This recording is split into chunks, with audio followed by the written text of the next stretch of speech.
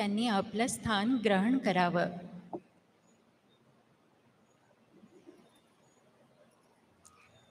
कुलसचिव सन्माननीय कुलपतींना दीक्षांत समारंभ प्रारंभ होत असल्याचे घोषित करावे अशी विनंती करतील. सन्मान्य कुलपती महोदय दीक्षांत समारंभ प्रारंभ होत झाल्याचे मी घोषित करतो.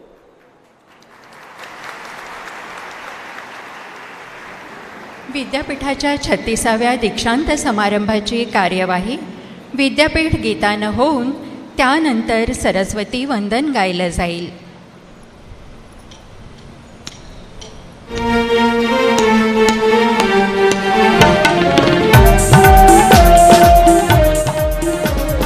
सा सा सरि स नि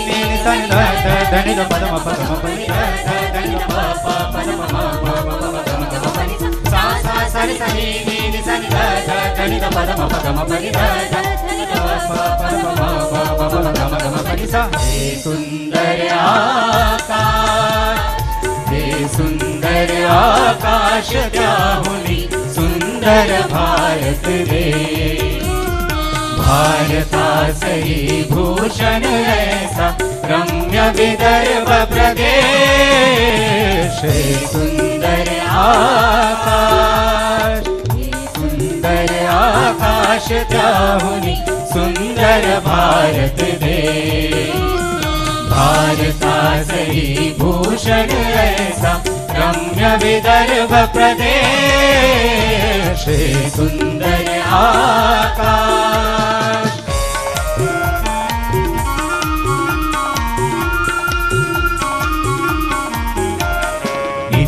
कृषी विद्यापीठाचे नवतन्त्रा नवमन्त्रा नवी गीर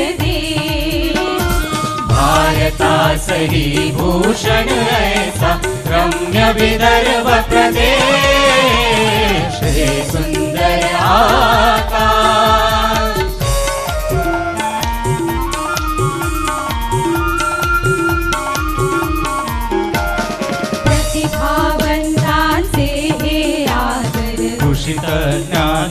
प्रयोग सागर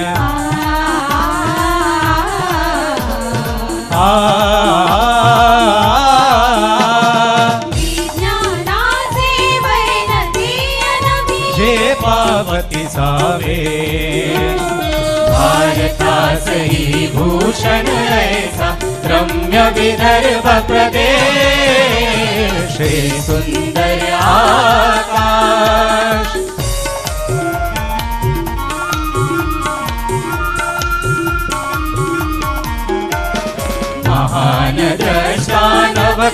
नवक्रांतीचा उंच कडा जणू सात पुढ्याचा शिल्पकार पंजाब रावया स्वप्नाचा सर्वे। भारतासही भूषण ऐसा रम्य विदर्भ प्रदेश।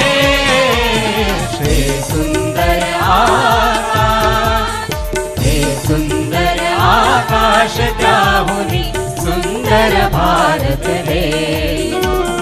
भारता सही भूषण ऐसा रम्य विदर्भ दे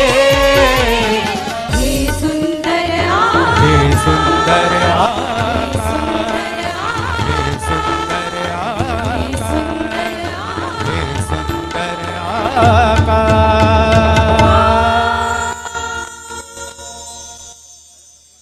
सरस्वती वंदन।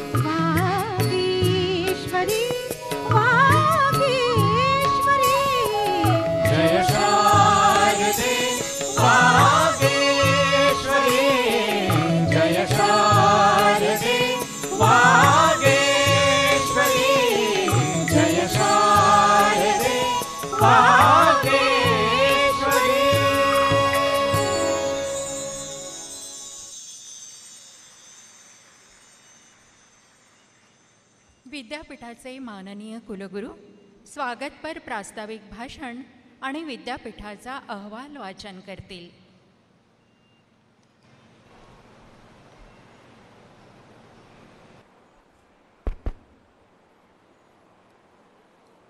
सुस्वागतम सुस्वागतम सुस्वागतम.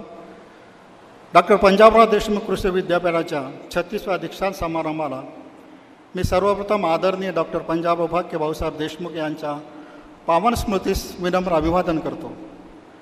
मंचावर उपस्थित महाराष्ट्र राज्याचे सन्मान्य राज्यपाल महोदय तथा विद्यापीठाचे कुलपती तसेच आजच्या कार्यक्रमाचे अध्यक्ष माननीय श्री भगतसिंग कोश्यारीजी यांचे दीक्षांत समारंभाच्या शुभप्रसंगी मनापासून स्वागत करतो.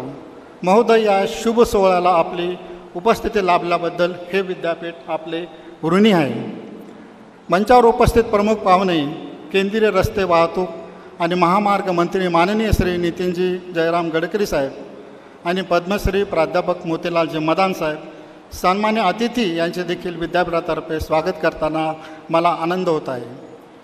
कार्यकारी परिषदेचे सन्मान्य सदस्य माजी कुलगुरू शैक्षणिक परिषदेचे सदस्य अकोला जिल्ह्यातील सन्माननीय आमदार जिल्हाधिकारी पोलीस महासंचालक अभ्यास मंडळाचे सदस्य पदविकांक्षी प्राध्यापक निमंत्रित शेतकरी पत्रकार बंधू प्रसारमाध्यमांचे प्रतिनिधी इतर सर्व उपस्थितांचे मी सहर्ष स्वागत करीत आहे. माननीय श्री भगतसिंग कोश्यारीजी साहेब यांच्या सार्वजनिक जीवनाबद्दल दोन शब्द बोलणे हे माझे आद्य कर्तव्य आहे. माननीय राज्यपाल उत्तराखंडातील बागेश्वर जिल्ह्यातील पालनधुरा चेतपगड येथील रहिवासी असून त्यांचा जन्म सतरा जून एकोणीसशे बेचाळीस रोजी झाला. कॉलेजमध्ये शिकत असताना सर विद्यार्थी संघाचे सरचिटणीस म्हणून कार्यरत होते. सरांना अध्यापनांची आवड होती आणि त्यांनी काही वर्ष व्याख्याता म्हणूनसुद्धा काम पाहिले. त्यांना पत्रकारिता आणि लेखनाची सुद्धा आवड आहे. त्यामुळेच शिक्षक लेखक आणि पत्रकार म्हणून त्यांची यशस्वी कारकीर्द राहिली.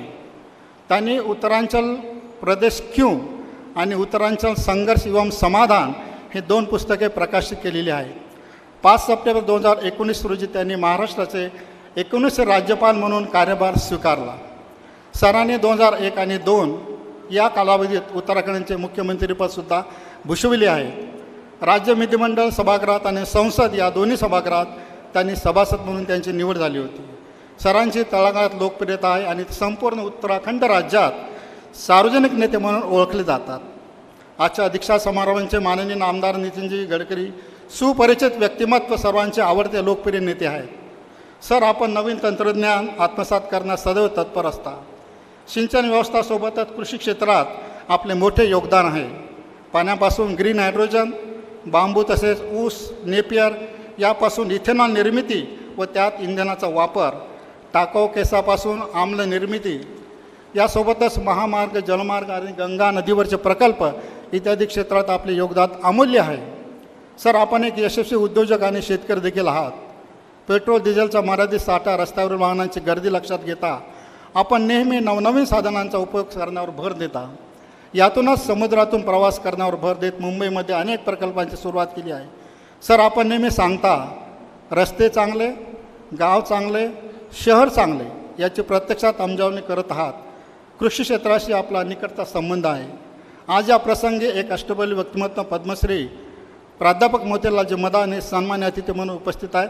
प्राध्यापक मदान हे विशि विविध प्रतिष्ठित संस्थांचे पदावर काम केलेत. ते या विद्यापीठाचे माजी कुलगुरू आहेत. यासोबतच दीनदयाल उपाध्याय पशुवैद्यकीय विज्ञान विद्यापीठ मथुरा येथे सुद्धा सरांनी कुलगुरू म्हणून काम केलेले आहे. प्राध्यापक मदान यांना विज्ञान आणि अभियांत्रिकी क्षेत्रातील विशिष्ट सेवेबद्दल यावर्षी जानेवारी दोन हजार बावीसमध्ये भारत सरकारने प्रतिष्ठित पद्मश्री देऊन सन्मानित केलेले आहे. विद्यापीठाचा आजचा दीक्षांत समारंभ हा एक महत्त्वपूर्ण टप्पा असून आम्हा सर्वांसाठी स्वयंमूलनकांची एक संधी व भविष्यातील आशा आकांक्षाचे एक स्वप्न आहे. महोदय विद्यापीठाच्या एकूण अकरा जिल्ह्यामध्ये विद्यापीठाचे कार्यक्षेत्र विस्तारित आहेत. शिक्षण संशोधन विस्तार शिक्षण तसेच जनु किंवा पायाभूत बियाणांचे उत्पादन ही विद्यापीठाची एक महत्त्वाची जबाबदारी आहे. सर विद्यापीठाच्या शैक्षणिक कार्यक्रमाद्वारे कृषी व्यतिरिक्त इतर सहा विषयामध्ये उच्च शिक्षणाच्या संधी विद्यार्थ्यांना उपलब्ध करून देण्यात येत आहेत. दरवर्षी एकूण तीन हजार सहाशे एकसष्ट विद्यार्थ्यांना या विद्यापीठात प्रवेश दिला जातो. महोदय भारतीय कृष्णनंदन परिषद नवी दिल्ली पुरस्कृत. इतर राज्यातील विदेशातील विद्यार्थी Afghanistan Nepal Ethiopia Nigeria Uganda Egypt Vietnam Bhutan या राष्ट्रातील विद्यार्थी या विद्यापीठात शिक्षण घेत आहेत. सर अत्यंत अभिमानाची गोष्ट आहे की आमच्या विद्यापीठाने मागच्या वर्षी आय सी आरच्या क्रमवारीत विद्यापीठानं सव्वीस सव्वीस स्थान प्राप्त केले आहे. सर आजच्या दीक्षांत समारंभामध्ये तीन हजार दोनशे चौतीस पदवीधर तीनशे एक्क्याऐंशी पदवीधर आणि एकतीस आचार विद्यार्थ्यांना पदव्या प्रदान करण्यात येणार आहे. सोबतच सत्तेचाळीस पदके आणि चोवीस रोग पदकेशे गुणवंत विद्यार्थी व कर्मचाऱ्यांना प्रदान करण्यात येत आहे. सर आमचे विद्यार्थी एन सी सीमध्ये अत्यंत चांगलं काम करतात. आणि आपल्याला या ठिकाणी मी सांगतो सर महाराष्ट्र राज्यामध्ये जी स्पर्धा घेण्यात आली साहेब तर पूर्ण राज्यातून सव्वीस पदकापैकी सोळा पदके आमच्या विद्यापीठातल्या विद्यार्थ्यांनी घेतलेले आहे सर.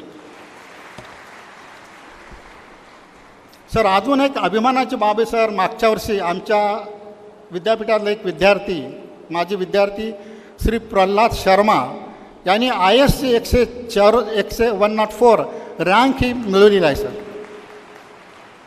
त्याप्रमाणेच महाराष्ट्र लोकसेवा आयोगामध्ये आमच्या जवळपास अठ्ठावीस विद्यार्थी वेगवेगळ्या अधिकारी म्हणून नियुक्त झाले आहेत. बँकेमध्ये एकावन्न विद्यार्थ्यांनी आपला कृषी अधिकारी म्हणून निवड करून घेतली. देशाचे माननीय पंतप्रधान यांनी मार्गदर्शन केलेल्या परीक्षा पे चर्चा या कार्यक्रमामध्ये विद्यापीठाच्या विविध महाविद्यालय आणि विविध विभागातील विद्यार्थ्यांनी सर सहभाग घेतलेला आहे. आमच्या इथे पी एच डीचे सर्व विद्यार्थी हे स्कॉलरशिप धारक आहेत सर. आणि या विद्यार्थ्यासोबतच आमच्या प्राध्यापकांनी राष्ट्रीय स्तरावर वेगवेगळ्या स्पर्धांमध्ये भाग घेऊन पारितोषिक मिळालेलं आहे. त्यामध्ये डॉक्टर विलास खर्चे डॉक्टर राजेंद्र गाडे डॉक्टर अशोक मस्के डॉक्टर प्रेमा मानापुरे doctor Vandana Madke doctor Sapna Bawaskar doctor S R Shegokar doctor Prashant Singkot आणि डॉक्टर प्रमोद यादगीरवार यांचा समावेश आहे. सर विद्यापीठ शिक्षणासोबतच संशोधनामध्ये सुद्धा अग्रेसर आहेत. नॅशनल लेवल आंतरराष्ट्रीय स्तरावर विद्यापीठानं नाव कमावलं आहेत आजपर्यंत एकशे शहात्तर विविध पिकांचे वाहनं चौदाशे पंच्याहत्तर गरजेनुसार तंत्रज्ञान विद्यापीठाने विकसित केले आहे. सर मागच्या वर्षी आमचे पी डी के व्ही पूर्व आणि आंबा हे दोन वाहन सोयाबीनचे अत्यंत लोकप्रिय झाले आहेत. त्याचप्रमाणे विद्यापीठामध्ये एकोणचाळीस विविध यंत्र विकसित केले आहेत आणि सोबतच या यंत्राद्वारे विद्यापीठाला साडेतीन कोटीचा निधी आम्हाला दरवर्षी प्राप्त होतो.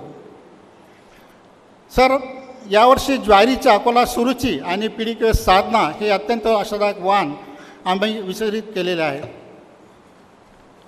विद्यापीठ आणि एंडो काउंट यांच्या संयुक्त माध्यमातून कापूस पिकातील उच्च गुणवत्ता राखण्यासाठी चंद्रपूर जिल्ह्यामध्ये कापूस पिकाच्या बीटी आणि देशी जातीमध्ये सेंद्रिय पद्धतीचा वापर करून लांब दाब्याचा कापूस विकसित करण्याकरता तीनशे सात कोटी लाख निधीचा प्रकल्प कार्यान्वित झाला आहे. डॉक्टर सी डी माई आमचे कार्यकारी संचालक सदस्य आहेत. त्यांच्या पाठमानावर साडेतीन कोटी निधीचे प्रकल्प Rajiv Gandhi science and technology याच्या माध्यमातून विद विद्यापीठाला प्राप्त झालेले त्यांचं मी या ठिकाणी अभिनंदन करतो. धन्यवाद देतो सर. सेंद्रिय पद्धतीने कापूस वाण विकसित करण्याकरता स्वित्झर्लंड सरकार यांच्या अधीनस्थ स्विस आंतरराष्ट्रीय कृषी संशोधन फोरम यांच्याद्वारे विद्यापीठाला उत्कृष्ट संशोधन प्रकल्प म्हणून सन्मानित करण्यात आले आहे. आमचे आदरणीय खासदार संजयभाऊ धोत्रे यांच्या सहकार्याने विद्यापीठात परम शावक संगणक प्राप्त झाला आहे. तसेच या विद्यापीठाला माहिती आणि तंत्रज्ञान मंत्रालयामार्फत दहा दशांश पंच्याण्णव कोटी निधीमधून सॉफ्टवेअर टेक्नॉलॉजी पार्क प्रथमच या विद्यापीठाला ॲग्रिकल्चर युनिव्हर्सिटीमध्ये मिळाला आहेत आणि त्या माध्यमातून आय ओ टी उद्योजकता केंद्र स्थापन स्थापन करत आहोत.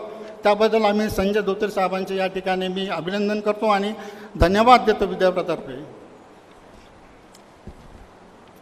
सर भारतीय राष्ट्रीय महामार्ग प्राधिकरण यांच्या सहाय्याने विद्यापीठाने तीस महाकाय शेतळ्यांची निर्मिती करून तब्बल नऊ दशांश दहा लक्ष क्युबिक घनमीटर पाण्याचा संचय केला आहे. ज्यामुळे बाराशे पंचवीस हेक्टर जमीन संरक्षित ओलीखाली येणार आहे. ही अतिशय कौतुकास्पद बाब आहे. हे नम या ठिकाणी मुद्दाम नमोदन करावेसे वाटते. या प्रसंगी माननीय नितीनजी गडकरी सरांचे तसेच महाराष्ट्र शासन कृषी विभाग यांचे विद्यापीठ सदैव ऋणी राहील. सर आपले आठवण आम्हाला सतत राहील. गडकरी सर आपण ज्यावेळेस उन्हाळ्यामध्ये आपण सी डी एफला गेलो त्या ठिकाणी दहा एकरवरचा मोठा फार्म आपण बघितला आणि त्या फार्म पॉन्डच्या पाण्याच्या उपलब्धीवर जे आमचे पिकं त्या ठिकाणी दिसतील त्या प्रत्येक पिकामध्ये आपली छबी आम्हाला दिसेल सर. आणि सर अजून एक आमच्याकडे दोन असे फार्म पान सी आर एसला आहेत. त्या ठिकाणी शरद सरोवर माननीय शरद पवार साहेब यांच्या प्रयत्नातून आम्ही शरद सरोवर डेव्हलप केले. सर दुसरं सरोवर जे आहे सी डी एफचं गडकरी सर त्याला आम्ही नितीन सरोवर असं नाव देतो आहे सर.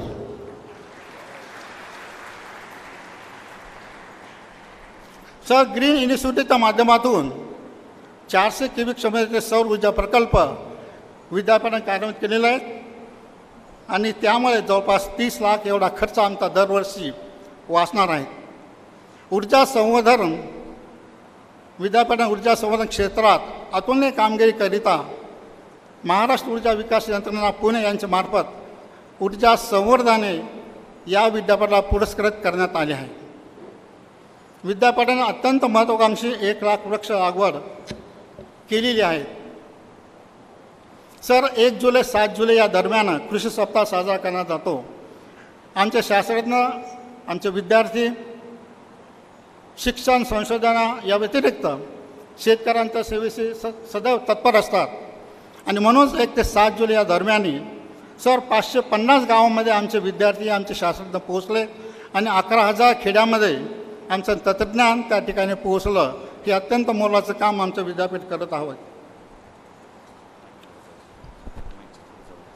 ध्वनी संदेश, कृषी वाणी, कृषी वार्ता, कृषी पत्रिका, कृषी संवादिनी, कृषी दिनदर्शिका, हॅलो कास्तकार, केबल टी व्ही ब्लॉग प्रशिक्षण, video conferencing helpline, mobile app इत्यादी कार्यक्रम तसेच विद्यापीठांची प्रकाशनालय शेतकऱ्या समुदायामध्ये लोकप्रिय आहेत. माझ्या प्रिय विद्यार्थी बांधवांनो, हा दीक्षांत समारंभाचा दिवस खरोखरच तुमच्या आयुष्यातील एक खास प्रसंग आहे. प्रत्येक वेळी प्रत्येक प्रयत्नात तुम्ही यशस्वी व्हाल असं नाही. यश नक्कीच तुमचा आत्मविश्वास वाढवेल पण अपयश देखील तुमचा अनुभव दुप्पट करेल. आणि शेवटी आयुष्य म्हणजे यश आणि अपयश यांचा रोमांचक अनुभव आहे. आपणास आंतरबाही विकास वृत्तिंगत करावा लागेल. तुमच्या आध्यात्मिक तत्वाने धनी तुम्हीच आहात. तुमचा आत्मविश्वास शिवाय दुसरा कोणी गुरु नाही. मित्रांनो तुम्ही तुमच्या अध्यात्माने तत्वज्ञाने जग जिंकू शकता. जीवनातील आव्हानांचा सामना करण्यासाठी तुम्ही स्वतः तयार केली पाहिजे आणि जबाबदारी स्वीकारण्यापासून कधी दूर जाऊ नये. तुम्ही आपल्या राष्ट्र उभारणीत आधारस्तंभ आहात आणि तुमची वैचारिक क्षमता एखाद्या उंच झाडाप्रमाणे विकसित हो असं मी या ठिकाणी कामना करतो. या संस्थेमुळे तुम्हा सर्वांना सर्वांगीण विकास होऊन संस्थेची असलेली ना नाते खोलवर रुजला गेली आहेत. तुमच्या गुरुजनांचे पालकांचे आणि तुमच्या संस्थेचा आदर करा. हेच तुमच्या भविष्याचे शिल्पकार आहेत प्रतिष्ठित पदवी आणि पुरस्कार प्राप्त प्रत्येकाचे मी पुन्हा एकदा मनापासून अभिनंदन करतो. या क्षणी शेवटी मी विद्यापीठाचे माननीय कुलपती आणि महाराष्ट्र राज्याचे राज्यपाल माननीय भज भगतसिंग कोश्यारी साहेब आजच्या दीक्षांत समारंभाचे निमंत्रण स्वीकाराबद्दल मनापासून आभार व्यक्त करतो. प्रमुख पाहुणे माननीय नितीनजी गडकरी साहेब आपला अमूल्य वेळ काढून आलात. त्याबद्दल आमचे विद्यापीठ आपले ऋणी आहेत आभारी आहोत. सन्मान्य अतिथी पद्मश्री मोतीलालजी मदान साहेब आपलेसुद्धा आम्ही या ठिकाणी आभार व्यक्त करतो. कार्यकारी परिषद सन्मान्य सदस्य इतर मान्यवर प्रसार माध्यमांचे प्रतिनिधी या सर्वांचे त्यासोबतच महाराष्ट्र शासन आणि भारतीय कृषी अनुदान परिषद नवी दिल्ली यांच्याकडून निरंतर सहकार्य यामुळे विद्यापीठ आपले ध्येय साध्य करेल अशी आशा व्यक्त करतो.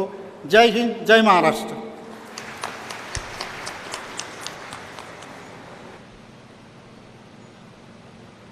सन्माननीय कुलगुरू माननीय श्री नितीन जयराम गडकरी यांना डॉक्टर ऑफ सायन्स ही सन्माननीय पदवी प्रदान करण्याची आणि पदवीकांक्षींना पदव्या प्रदान करण्याबाबत अनुज्ञा द्यावी अशी सन्माननीय कुलपती महोदयांना विनंती करतील.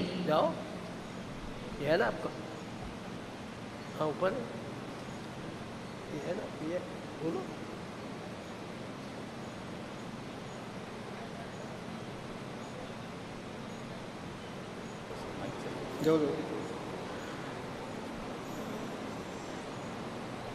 माननीय कुलपती महोदय माननीय श्री नितीन जयराम गडकरी यांना डॉक्टर ऑफ सायन्स ही सन्मान्य पदवी प्रदान करण्याची अनुज्ञा द्यावी अशी मी आपणास विनंती करतो. हो गया। सम्मान्य श्री नितीन जयराम गडकरी यांना, डॉक्टर ऑफ़ सायन्स ही सन्माननीय पदवी, तसेच पदवी परीक्षा उत्तीर्ण होऊन पदवीस पात्र ठरलेला व प्रस्तुत छत्तीसाव्या दीक्षांत समारंभात पदवी घेण्याची इच्छा असणाऱ्या पदवीकांक्षींना या विद्यापीठाच्या कार्यकारी परिषदेने पदवी प्रदान करण्याची अनुज्ञा द्यावी अशी मी विनंती करतो.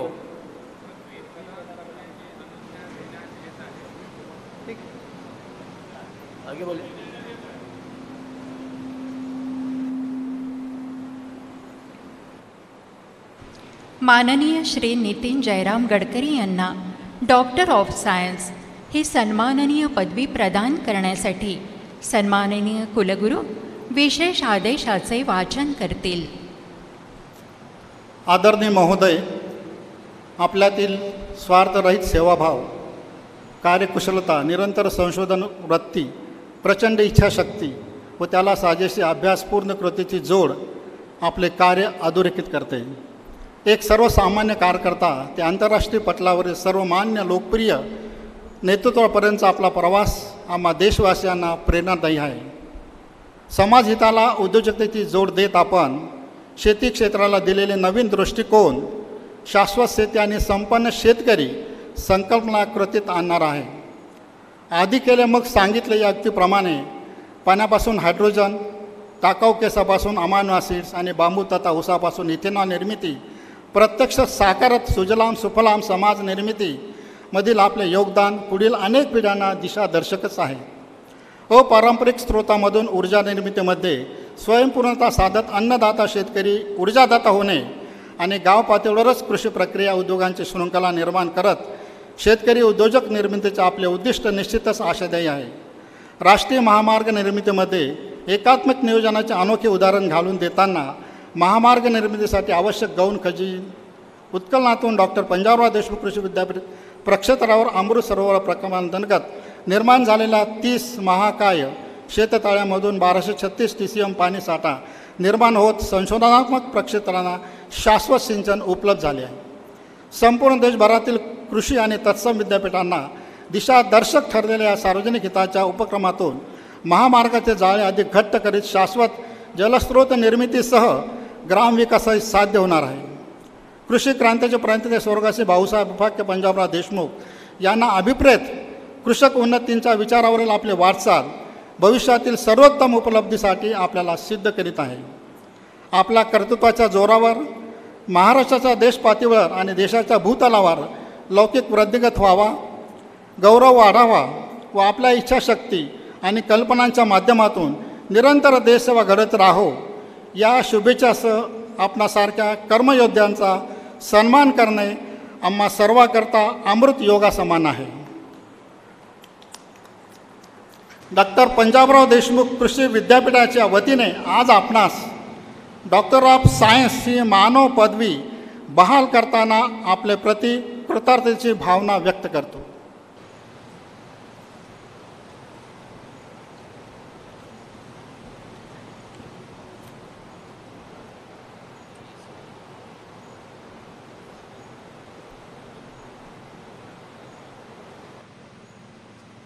है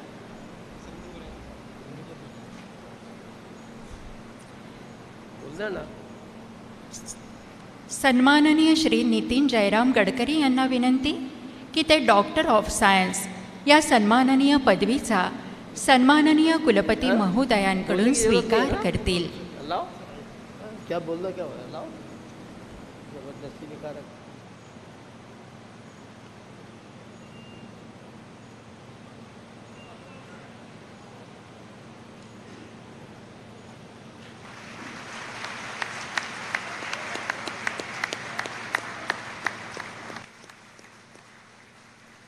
यानंतर मान्यवरांना विनंती की त्यांनी मानपत्र पत्र प्रदान करावं.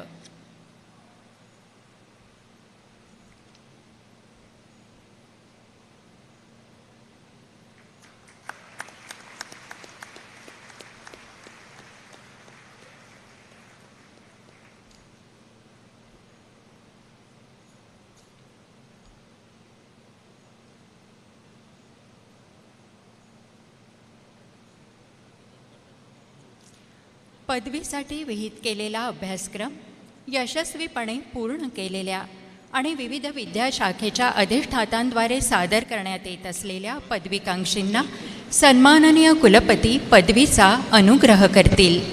या विद्यापीठाच्या कुलपती या पदान्वये विधिवत प्राप्त झालेल्या अधिकारात मी विविध विद्याशाखांचे अधिष्ठाद्वारे कर्मशः सादर करण्यात येत असलेल्या पदवीकांक्षींना पदवी पुरस्काराचा अनुग्रह करीत आहे आणि त्या त्या पदव्या प्रदान करीत आहे तसेच विद्यावस्त्रे परिधान करण्याची अनुज्ञा देत आहे. पदव्युत्तर विद्याशाखेचे अधिष्ठाता हे क्रमशः डॉक्टर ऑफ फिलॉसॉफी या पदवीकांक्षींना अनुग्रहासाठी सादर करतील. सन्माननीय कुलपती महोदय पदव्युत्तर विद्याशाखेतील डॉक्टर ऑफ फिलॉसॉफी या पदवीकरिता उचित योग्यता प्राप्त पदवीकांक्षी आपणासमोर पदवीच्या अनुग्रहासाठी क्रमशः सादर करण्याची अनुज्ञा असावी. पदवी पुरस्काराचा आपण अनुग्रह करावा ही प्रार्थना.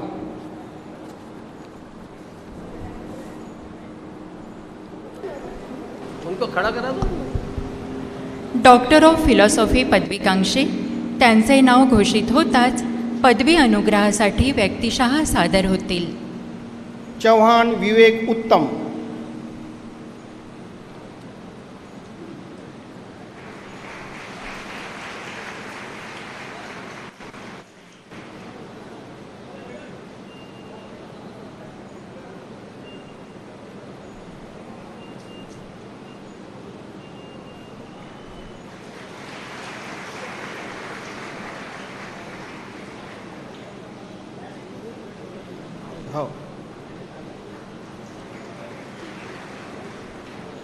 वावदाने विनोद पुंडलिक.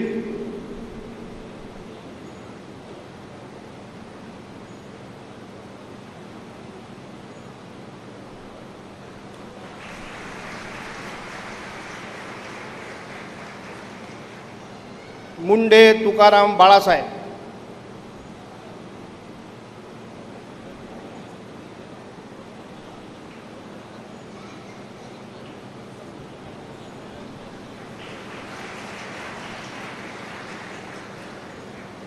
केंद्रे विशाल परमेश्वर।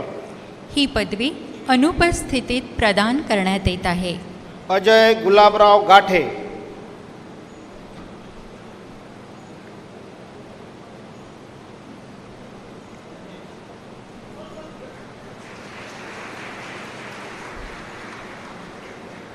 गाडेकर श्रीकांत दत्तात्रय।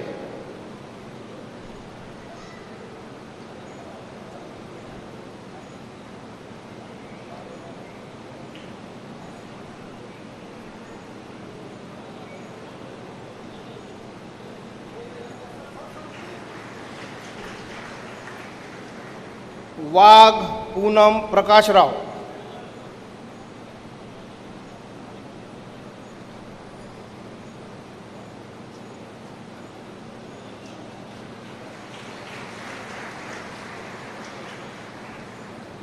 दीपक शंकरराव मेहेकर।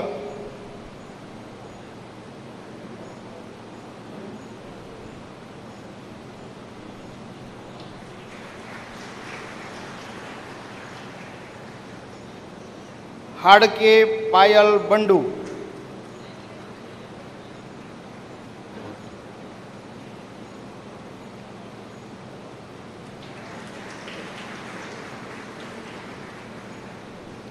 सपना सुहास राजदेरकर।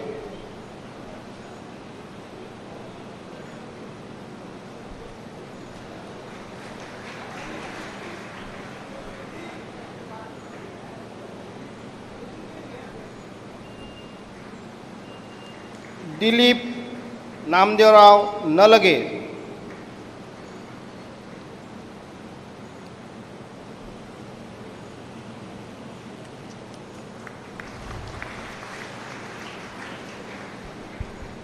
परदेशी प्रिया प्रदीप सिंग. ही पदवी अनुपस्थितीत प्रदान करण्यात येत आहे. पाटील सुशांत सुकुमार.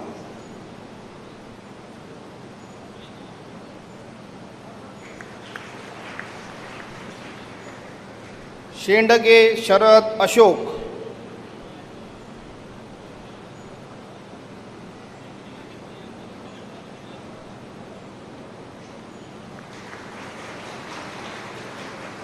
सुरभैया शोभा देवीदास.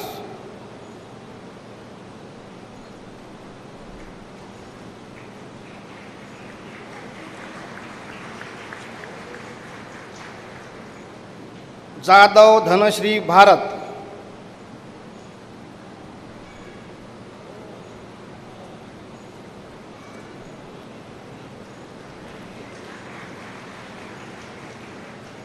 खंडारे शुभांगी प्रकाश।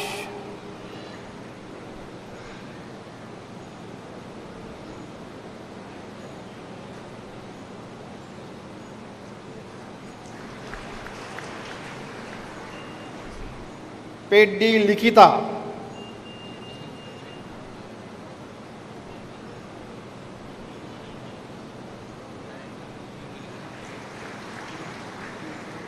गायधनी अश्विनी हेमराज।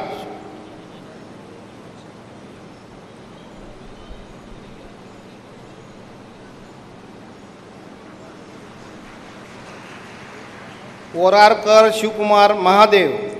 ही पदवी अनुपस्थितीत प्रदान करण्यात येत आहे. पाटील दिशा अनंत।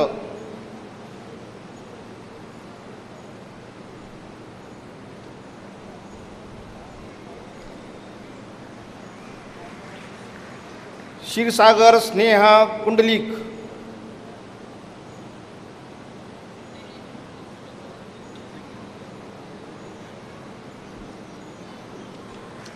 गावंडे श्वेता सुभाषराव।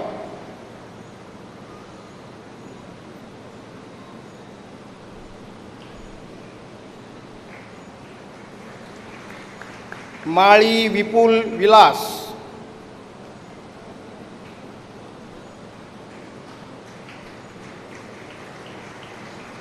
पाटील उदय हनुमंतराव.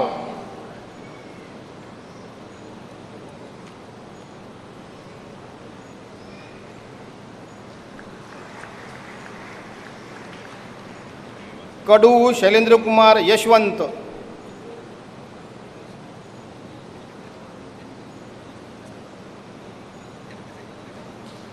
आकांक्षा श्रीवास्तव.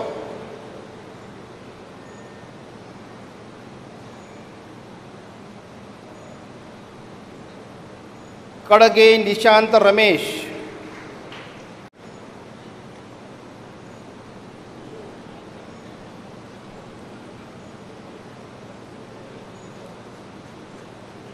गजाकोश अविनाश विठ्ठल।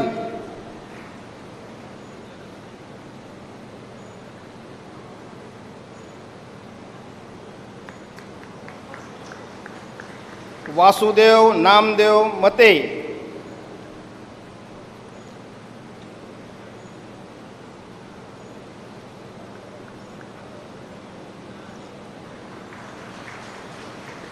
गावंडे अश्विनी बाबूराव.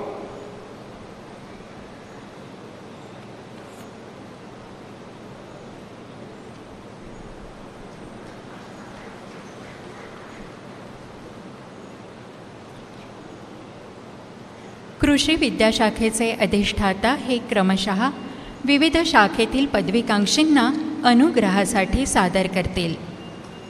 सन्माननीय कुलपती महोदय कृषी विद्याशाखेतील master of science agriculture horticulture forestry agricultural biotechnology master of technology agriculture engineering आणि master of business administration agriculture या पदव्यांकरिता उचित योग्यता प्राप्त पदवीकांक्षी आपणासमोर त्या त्या पदवी अनुग्रहासाठी क्रमशः सादर करण्याची अनुज्ञा असावी.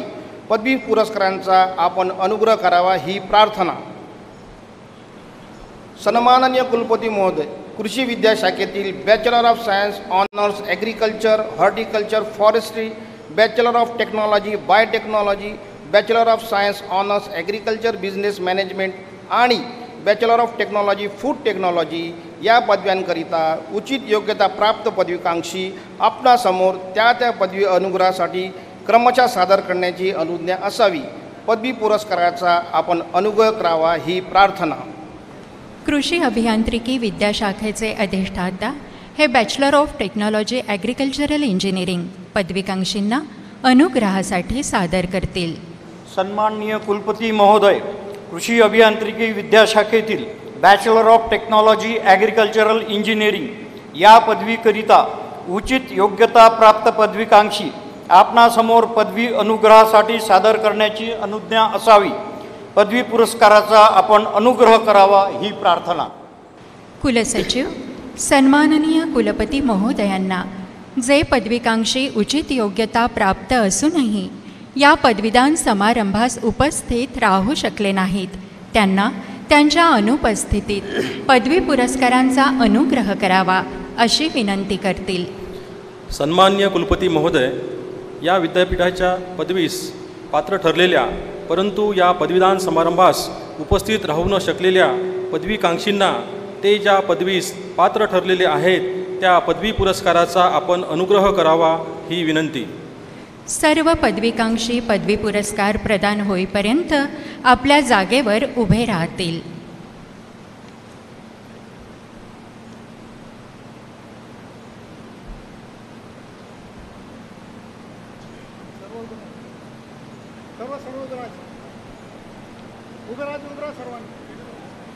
उभे राहा उभे उभे बच्चे बच्चे।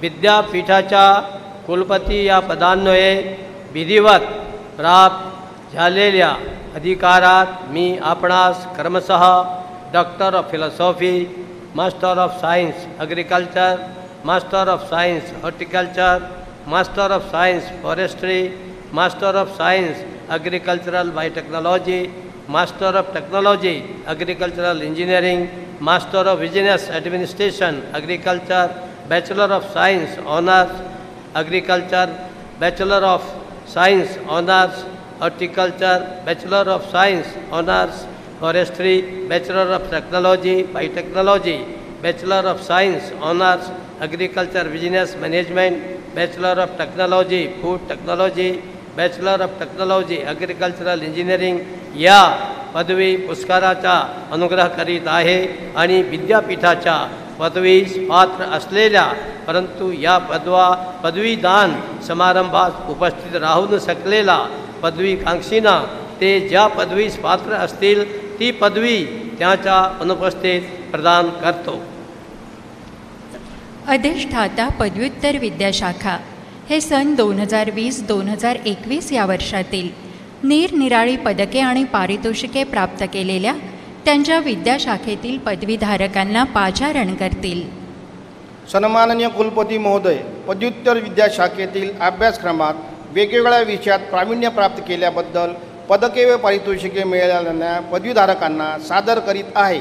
त्यांना पदके व पारितोषिके देऊन पुरस्कृत करावे ही प्रार्थना मास्टर ऑफ सायन्स ॲग्रिकल्चर पदवी परीक्षेत कीटकशास्त्र या विषयात सर्वाधिक मूल्यांक प्राप्त करून एफ किंवा आर ग्रेड न नोंदविता नियोजित वेळेत प्रबंध सादर केल्याबद्दल national of seminar on post management सुवर्णपदक युनायटेड फॉस्फरस लिमिटेड सुवर्णपदक स्वर्गीय प्रोफेसर एम जी हरदास स्मृती सुवर्णपदक डॉक्टर विश्वनाथ मेहसरे सुवर्णपदक स्वर्गीय डॉक्टर के आर ठाकरे सुवर्णपदक आणि Hexamar agriculture research and development foundation रौप्य पदक कुमारी Deshmukh Poonam Hanumantrao.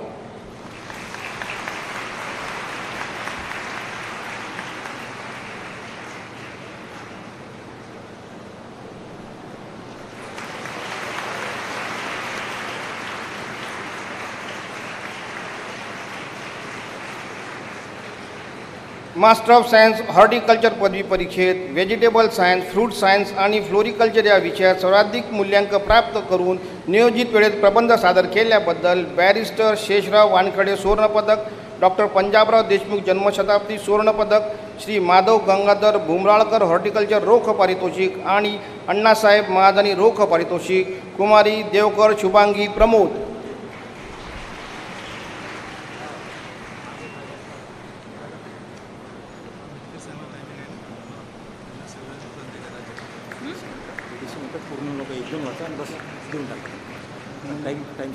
Master of science agriculture पदवी परीक्षेत कृषीविद्या या विषयात सर्वाधिक मूल्यांक प्राप्त करून नियोजित वेळेस प्रबंध सादर केल्याबद्दल माननीय कुलगुरू प्रोफेसर विठ्ठलराव रहाटे सुवर्णपदक, स्वर्गीय डॉक्टर भगवंतराव बाजीराव तुरखेडे सुवर्णपदक डॉक्टर पंजाबराव देशमुख रौप्य पदक आणि स्वर्गीय श्री लक्ष्मणराव नरहरपंत उत्तरवार रौप्य पदक, Shri Vairagale Mahendra Nandlal.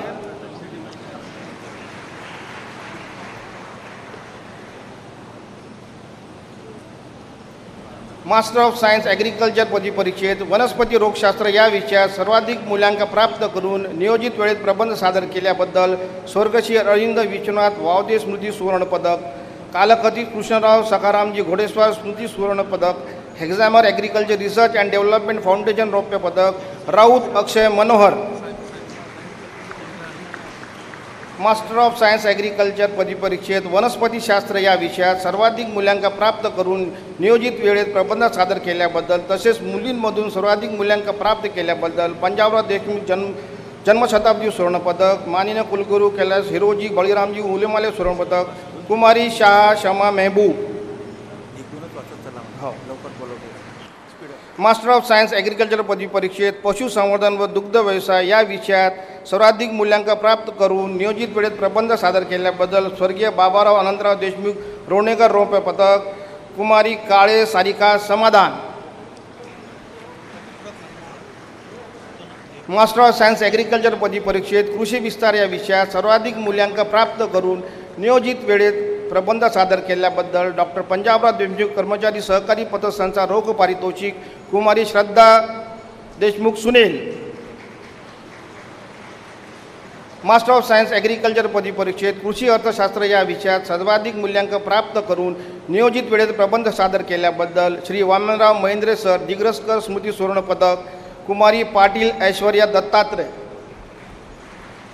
Master of science पदवी परीक्षेत वनस्पती शरीरक्रिया बियाणे तंत्रज्ञान या विषयात सर्वाधिक मूल्यांक प्राप्त करून नियोजित वेळेत प्रबंध सादर केल्याबद्दल डॉक डॉक्टर रंजन सीताराम शिवणकर सुवर्ण पदक Mate Pooja Ramkrishna.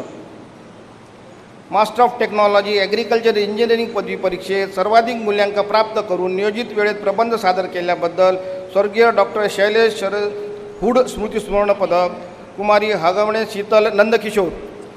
हा पुरस्कार अनुपस्थितीत प्रदान मास्टर ऑफ़ सायन्स पदव्युत्तर शिक्षण संस्था अकोला पदवी परीक्षेत एफ किंवा आर ग्रेड न नोंदविता नियोजित वेळेत प्रबंध सादर केल्याबद्दल श्री अनंतराव पंजाबराव देशमुख सुवर्णपदक कुमारी Ayarkar Shraddha Shrikant. Master of science agriculture पदवी परीक्षेत एस सी एस टी प्रवर्गातून सर्वाधिक मूल्यांक प्राप्त करून नियोजित वेळेत प्रबंध सादर केल्याबद्दल क्रांतीसूर्य महात्मा ज्योतिबा फुले स्मृती शताब्दी सुवर्णपदक कुमारी Gawai Pooja Manohar. Master of science agriculture पदवी परीक्षेत कृषी विद्या या विषयात सर्वाधिक मूल्यांक प्राप्त करून नियोजित वेळेत प्रबंध सादर केल्याबद्दल डॉक्टर पंजाबराव देशमुख जन्मशताब्दी सुवर्णपदक कुमारी Harinkhede Anamika Ulhasram master of science horticulture पदवी परीक्षेत फ्रूट सायन्सच्या विषयात सर्वाधिक मूल्यांक प्राप्त करून नियोजित वेळेत प्रबंध सादर केल्याबद्दल श्री रणजित देशमुख अमृत महोत्सवी स्मृती सुवर्णपदक कुमारी देशमुख ऋतुजा नरेंद्र. शेतकऱ्यांना तात्काळ फायदेशीर व कमी खर्चाचे तंत्रज्ञान अशा मुद्द्यांवर विद्यार्थ्यांमधून पदव्युत्तर अभ्यासक्रमात उत्कृष्ट संशोधन केल्याबद्दल डॉक्टर वासुदेव बळवंत बळवंत राऊडकर रौप्य पदक Shri Abhishek D Gavhane. Master of technology agriculture engineering या पदवी अभ्यासक्रमात वीस एकवीस वर्षात कृषी अभियांत्रिकी शाखेमधून उत्कृष्ट संशोधन कार्य केल्याबद्दल एर्गॉनॉमिक रोग पारितोषिक कुमारी Jadhav Priyanka Dattatray. Master of science agriculture पदवी परीक्षेत मृदशास्त्र व कृषी रसायनशास्त्र या विषयात सर्वाधिक मूल्य प्राप्त करून नियोजित वेळेत प्रबंध सादर केल्याबद्दल स्वर्गीय श्रीमती प्रेमलता सेवकराम हाडोळे स्मृती रोग पारितोषिक कुमारी Nalla Sanjuna Reddy master of technology agriculture engineering पदवी परीक्षेत सिंचन व निचरा अभियांत्रिकी किंवा मृद व जलसंधारण अभियांत्रिकी या विषयात सर्वाधिक मूल्यांक प्राप्त करून नियोजित वेळेत प्रबंध सादर केल्याबद्दल प्रोफेसर श्रावण सावजी वंजारी स्मृती रोख पारितोषिक Shri Suryavanshi Sambhaji Haribhau. Master of science पदवी परीक्षेत अंतिम वर्षात शिक्षण घेत असलेल्या उत्कृष्ट विद्यार्थ्याला त्याच्या शैक्षणिक उपलब्धी व उत्कृष्ट चारित्र्याबद्दल श्री लक्ष्मण दामोदर नेवारे रोख पारितोषिक कु. सौम्या शेफाली दास.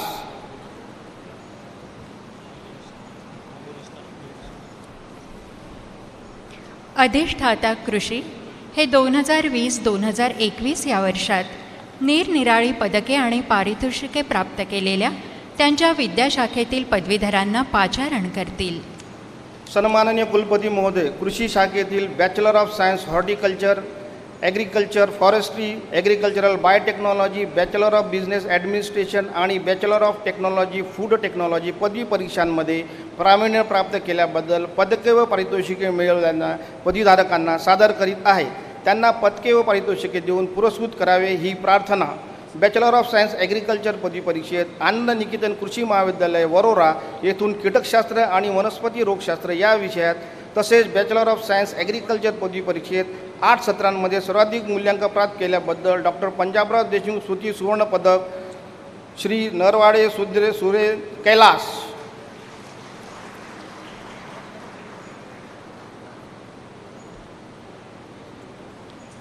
Bachelor of science agriculture पदवी परीक्षेत कृषी महाविद्यालय अकोला येथील विद्यार्थिनींमधून सर्वाधिक मूल्यांक प्राप्त केल्याबद्दल स्वर्गीय मातोश्री पर्वताबाई महेंद्र सुवर्णी सु सु सुवर्ण स्मृ पदक श्रीमती विल विमलाबाई देशमुख रौप्य पदक कुमारी Kharbalkar Vaishnavi Pramod. Bachelor of science horticulture पदवी परीक्षेत सर्वाधिक मूल्यांक प्राप्त केल्याबद्दल स्वर्गीय शांतारामजी बबन गावंडे सुवर्णपदक कुमारी गावंडे प्रिया योगीराज. हा पुरस्कार अनुपस्थितीत प्रदान करण्यात येत आहे. सर्वपदी अभ्यासक्रमाच्या परीक्षेत अनुसूचित जाती व अनुसूचित जमाती विद्यार्थ्यांमधून वनस्पती रोगशास्त्र या विषयात सर्वाधिक मूल्यांक प्राप्त केल्याबद्दल भारतरत्न डॉक्टर बाबासाहेब आंबेडकर जन्मशताब्दी स्वर्णपदक कुमारी Nandeshwar Aarju Jitendra. Bachelor of science agriculture पदवी परीक्षेत वनस्पती रोगशास्त्र या विषयात सर्वाधिक मूल्यांक प्राप्त केल्याबद्दल स्वर्गीय रेणुराव उपाख्य अण्णासाहेब पाटील सायकरकर सुवर्णपदक कुमारी Singraveni Shweta daughter of Singraveni Srinivas. Bachelor of science agriculture biotechnology पदवी परीक्षेत सर्वाधिक मूल्यांकन प्राप्त केल्याबद्दल स्वर्गीय डॉक्टर पंजाबराव उपाख्य भाऊसाहेब देशमुख स्मृती सुवर्णपदक कुमारी Badarke Prajakta Eknath. Bachelor of science agriculture पदवी श्री शिवाजी कृषी महाविद्यालय अमरावती येथून सर्वाधिक मूल्यांक प्राप्त केल्याबद्दल श्री शिवाजी कृषी महाविद्यालय अमरावती रौप्य महोत्सवी स्मृती रौप्य पदक कुमारी Pardhi Vidya Balu bachelor of science forestry पदवी परीक्षेत सर्वाधिक मूल्यांक प्राप्त केल्याबद्दल श्री पी पी जोशी रौप्य पदक कुमारी Advani Manisha Suresh bachelor of science agriculture पदवी परीक्षेत वनस्पती शरीरक्रियाशास्त्र या विषयात सर्वाधिक मूल्यांकन प्राप्त केल्याबद्दल डॉक्टर अरविंद मारुती धोपटे रौप्य पदक कुमारी Pawar Shweta Sanjay.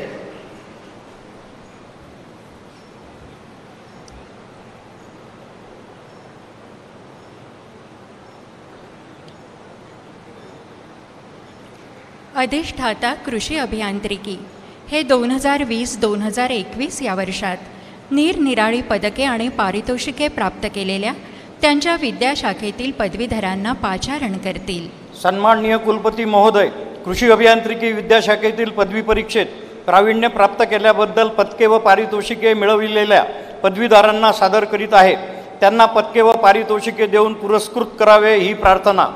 Bachelor of technology agricultural engineering पदवी परीक्षेत तसेच मृदा व जलसंधारण अभियांत्रिकी या विषयात मुलींमधून सर्वाधिक मूल्यांक प्राप्त केल्याबद्दल स्वर्गीय अजित बेनीराम हारोडे स्मृती सुवर्णपदक I S E convention memorial सुवर्णपदक श्री गंगाधर हरी पराडकर रौप्यपदक श्री गंगाधर हरी पराडकर रोग पारितोषिक प्रोफेसर मेनन अली मोहम्मद रोग पारितोषिक प्रोफेसर श्रावण सावजी वंजारी स्मृती रोग पारितोषिक आणि डॉक्टर वसंतकुमार नरसिंगराव मदन सुरे रोग पारितोषिक.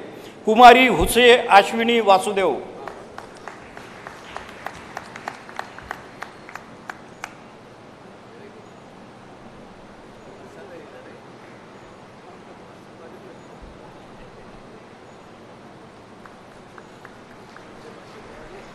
संचालक शिक्षण. हे दोन हजार वीस दोन हजार एकवीस या वर्षात उत्कृष्ट शिक्षक म्हणून निवड झालेल्या शिक्षकांना पाचारण करतील. सन्माननीय कुलपती महोदय उत्कृष्ट शिक्षक रौप्य पारितोषिक वीस एकवीससाठी निवड झालेल्यांना आपणासमोर सादर करीत आहे. त्यांना पारितोषिके देऊन पुरस्कृत करावे ही प्रार्थना. श्री दामोदर कृष्णराव बल्लाळ रौप्य पदक doctor U S Kulkarni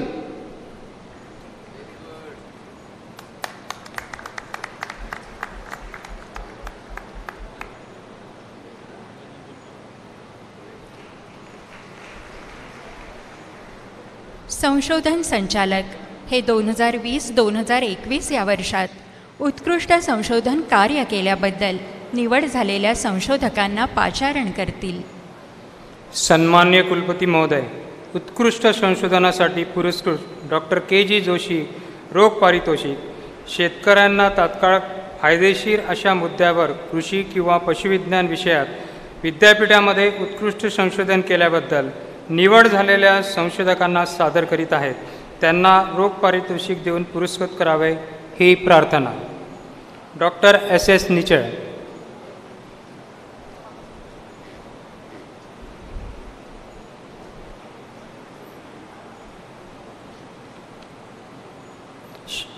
Shri G. D. Chandankar.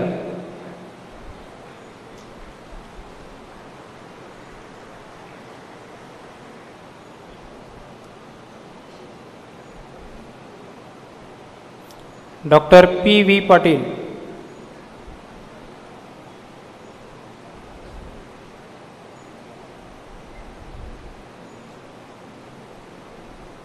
Shri M S Dandge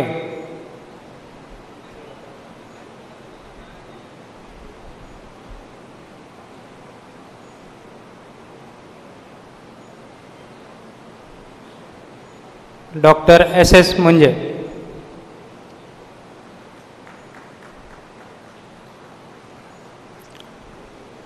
Radhakishan Shanti Malhotra रोग पारितोषिक कृषी व पशुविज्ञान विषयामध्ये उत्कृष्ट संशोधन केल्याबद्दल आणि विद्यापीठ क्षेत्र क्षेत क्षेत्रातील शेतकऱ्यांना तात्काळ पोचवणे यासाठी निवड झालेल्या संशोधकांना सादर करीत आहे. त्यांना रोग पारितोषिक देऊन पुरस्कृत करावे ही प्रार्थना. Doctor B S Kale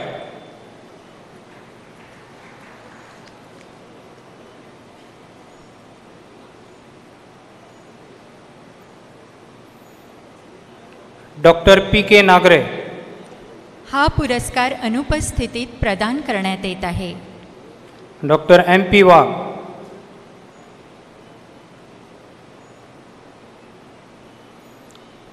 doctor A M Sonkamble.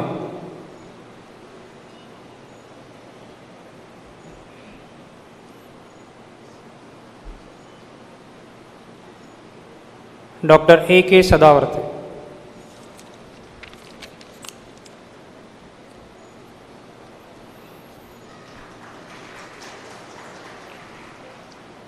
कृषीशास्त्र पशुविज्ञान मत्स्यविज्ञान आणि कृषी अभियांत्रिकी या शाखांमधून राष्ट्रीय स्तरावर उत्कृष्ट संशोधन केल्याबद्दल स्वर्गीय डॉक्टर पी एस खानकोजे सुवर्णपदक. Doctor S R Kalwande.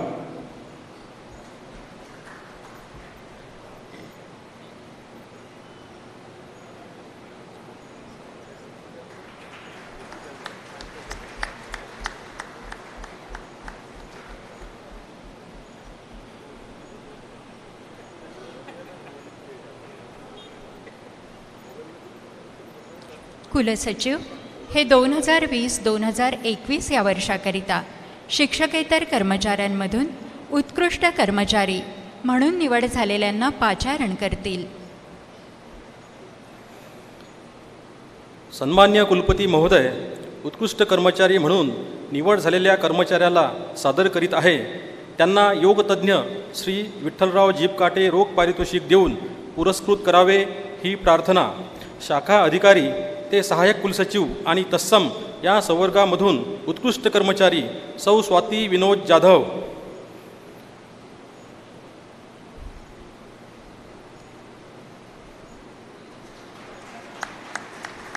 शाखा सहाय्यक ते सहाय्यक शाखा अधिकारी आणि तत्सम या संवर्गामधून उत्कृष्ट कर्मचारी श्री दिलीप शेषराव अहिर.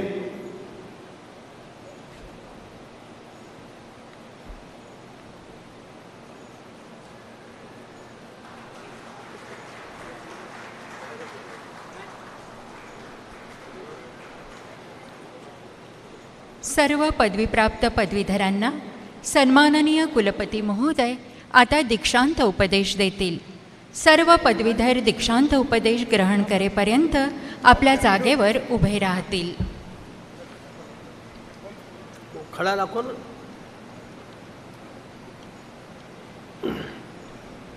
या विद्यापीठाच्या कुलपती या नात्याने मी आपणास प्राचीन ऋषी मुनीच्या संदेशाला अनुसरून पुढील दीक्षांत उपदेश प्रदान करीत आहे. आपण तो मनःपूर्वक ग्रहण करावा व त्याचे पालन करावे. सत्यम वद. धर्मम चर. स्वाध्यायान मा प्रमद.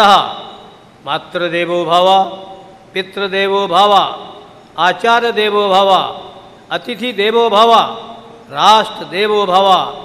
एष आदेश एष उपदेश एष वेदोपनिषदात, एतत् अनुशासनम। हे पदवीकांक्षिनो वरील संदेश, हा आपल्या हृदयात खोलवर, रुजवून त्यावर अंमल करीत, शिस्तबद्धतेने आचरणात आणावा सर्व पदवीधर पुढील प्रतिज्ञा एका सुरात म्हणतील. आम्ही दीक्षांत उपदेशांचे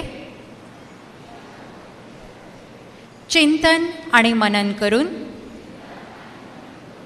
त्याप्रमाणे आचरण करू. सर्व पदवीधर आपल्या जागेवर बसतील? या समारंभाचे सन्माननीय अतिथी पद्मश्री प्राध्यापक मोतीलाल मदान मार्गदर्शन करतील.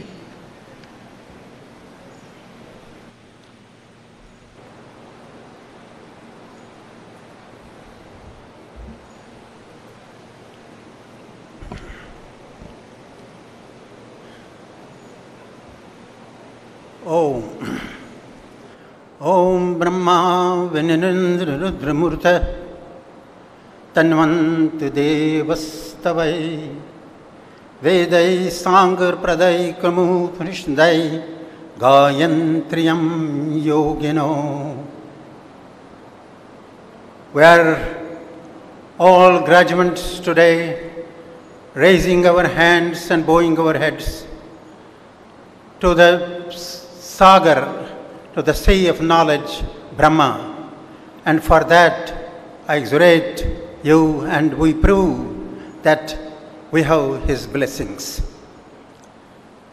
Honorable Chancellor, sir, and the Governor of Maharashtra, Sri Koshyari ji, Chief Guest Shri Nitin Gadkari ji, Honorable Minister for Road Transport and Highways, Government of India, distinguished Vice Chancellors of the University, Dr. V.M. Bhale, former Vice Chancellors, members of the Executive Council, Academic Council, Board of Studies, faculty, distinguished dignitaries, invitees, graduates receiving the degrees and honors, and farmers, media representatives, ladies and gentlemen, and my dear students.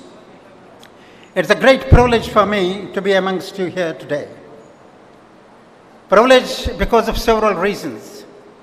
Privilege because I am connected with Baba Sahib and that connection has been as early as 1956 when Punjab Raoji Deshmukh came to lay the foundation stone of the college from which I graduated in Hisar. And it was my proud privilege to be coming to this institution to serve you all here as the first servant in the year 1999. And today, it's again my proud privilege to be with you in the august company of our Manya Governor ji and Nitin Gadkari ji. I deem it also an honor that this 36th convocation of this university, which bears the name of Sahib, Dr. Panjab Rao Deshmukh, one of the pioneering architects of modern agriculture in India. I need to mention here that it was the foresightedness of Bau Sahib, that agriculture minister of this country, that we had what we say a backtrack and we had to give a new forward look to the agriculture in this country. And the results of this are before you that how we have progressed from a begging bowl to an exporting country in food grains. I need not to develop on that, but it's important to say that agricultural economy is something which is today the anchoring the national economy. Continuously for several years, agriculture economy purposefully backed by the livestock, which is showing a continuous increase of 4.5% annually, has been backing the total national economy and making us all proud.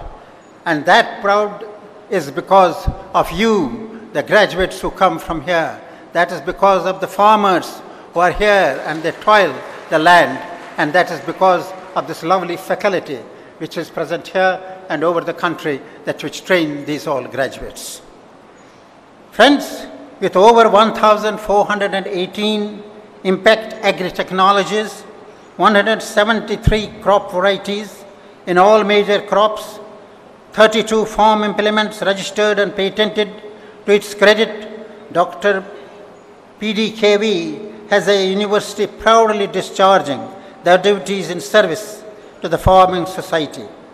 My youngsters from the rural areas have started their employment using the PDKV dal mill as a setup for the university from the first time. The PDKV built mill dal mill has become a lifeline for rural employment. I remember here the days when we started it with. That was in 1999. That we started and tried to give more impetus to this dal mill. And over the years, Sahib, that this has really fruitified into a situation. And I remember at this time, the Dr. Borkar, who is not amongst us, but was instrumental in this activity. And I believe that his soul will reach his peace. We applaud his activities, which has been doing here on this campus.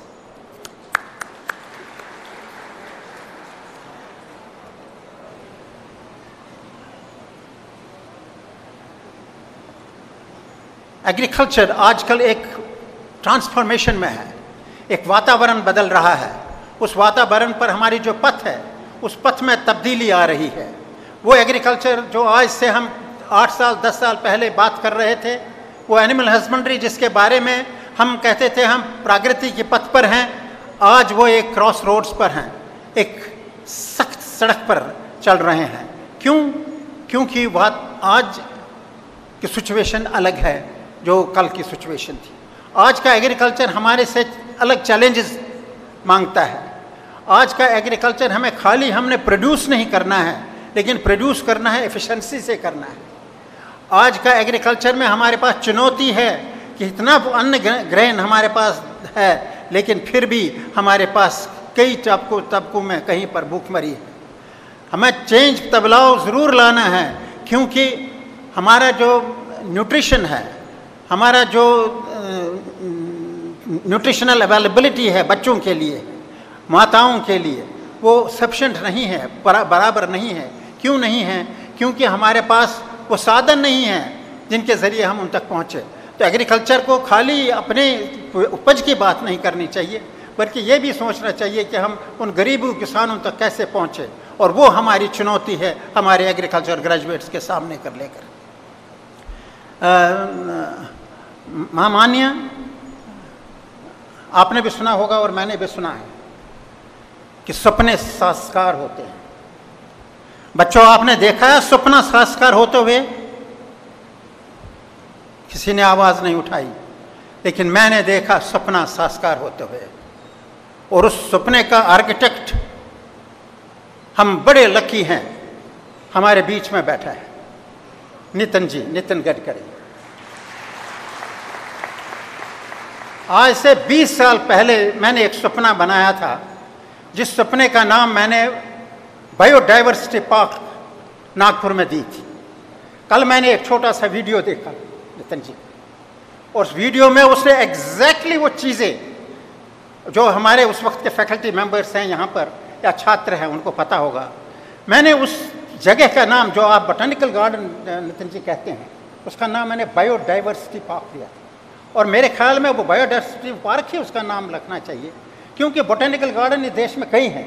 लेकिन biodiversity park कोई नहीं। और biodiversity park में हमने क्या किया था?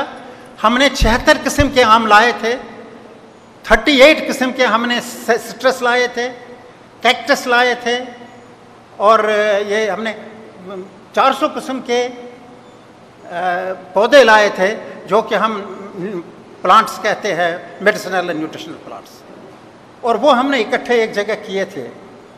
और उसके साथ हमने प्रोटेक्टेड कल्टिवेशन वहाँ की थी फ्लावर्स लोगों को वहाँ लिकाने के लिए हमने जो वहाँ पर वाटर टैंक था, उसको छत पर एक रेस्टोरेंट बना दिया था।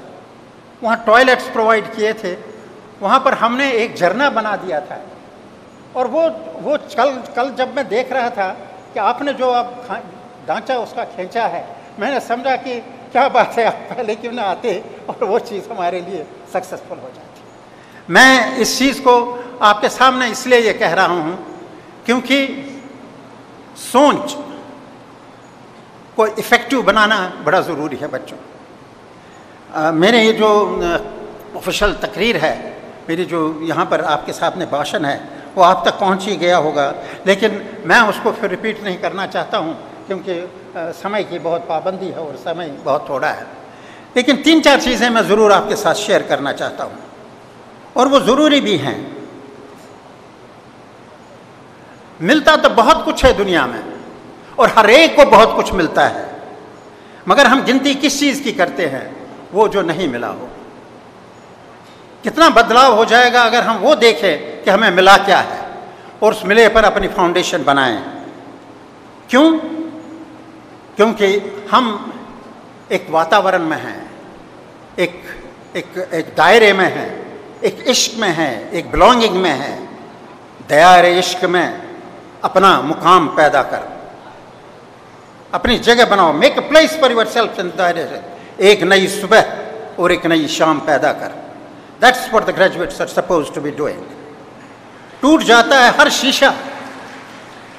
टूट जाता है हर शीशा पत्थर की चोट से। टूट जाता है हर शीशा पत्थर की चोट से, लेकिन आपका काम कुछ और है। जो इस पत्थर को तोड़ दे, वो शीशा पैदा कर।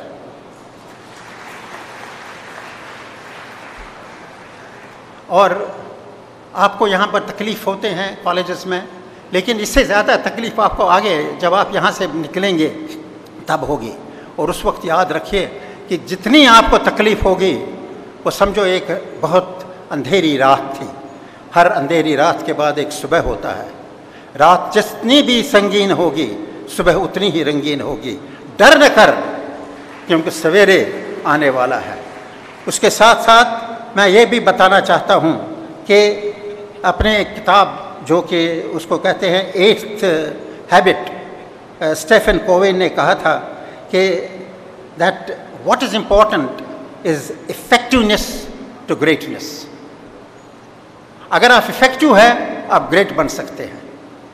So how to be effective किसी को ये कहा था कि आपको इफ़ेक्टिव बनाना है तो अपनी लाइन आप जिसके साथ से जो उसे बड़ा दिखाना है, उसकी लाइन से आप अपनी लाइन बड़ी कर दो।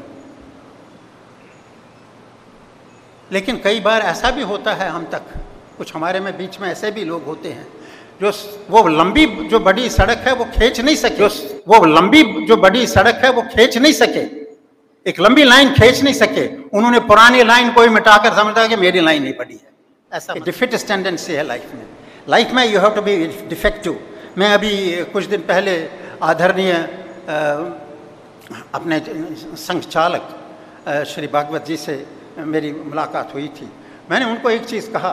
मैंने उनसे सिंपल सवाल पूछा। मैंने कहा, साहब, आप वेटरनरी में आए थे, लेकिन आप कहाँ चले गए इस दूसरे फ़ील्ड में? उनका जवाब बहुत सुंदर था। और मैं आपके साथ वो शेयर करना चाहता हूँ आखिर में। उन्होंने कहा था that it is easy to be followers but it is difficult to be leaders friends you have to be a leader to yourself don't don't think what others can do you can't do you can always do it better you can always do it better संतराश बनना है तो ऐसा बनिए कि हर एक अपनी मूर्ति आपसे बनाए ईंटें लगानी हैं तो ऐसा ईंट लगाने वाले बनिए कि आपसे ईंट बनेगी। और साइंटिस्ट बनना है या एग्रीकल्चरिस्ट बनना है, ऐसा बनिए कि ये जो पुरस्कार छोड़कर आप पर सबकी रियलाइंस हो जाए। मैं इन्हीं शब्दों के साथ आपका बहुत धन्यवाद हूँ। आपका भी धन्यवाद हूँ कि आपने मुझे मौका दिया यहाँ आने का। और वीसी साहब का पर्टिकुलर वाले साहब का, जिन्होंने मुझे यहाँ पर बुलाया। मुझे जो कुछ यहाँ यूनिवर्सिटी से मिला है मैं यहाँ पर आज से 20 साल पहले था आप लोगों के बीच में। इस यूनिवर्सिटी से जो मुझे मिला है, वो मैं हूँ। और मैंने, पता नहीं है कि मैंने कुछ यहाँ पर दे सका कि नहीं। लेकिन आज जो मैं हूँ, मैं अर्पण करता हूँ इस संस्थान को और आपको। धन्यवाद।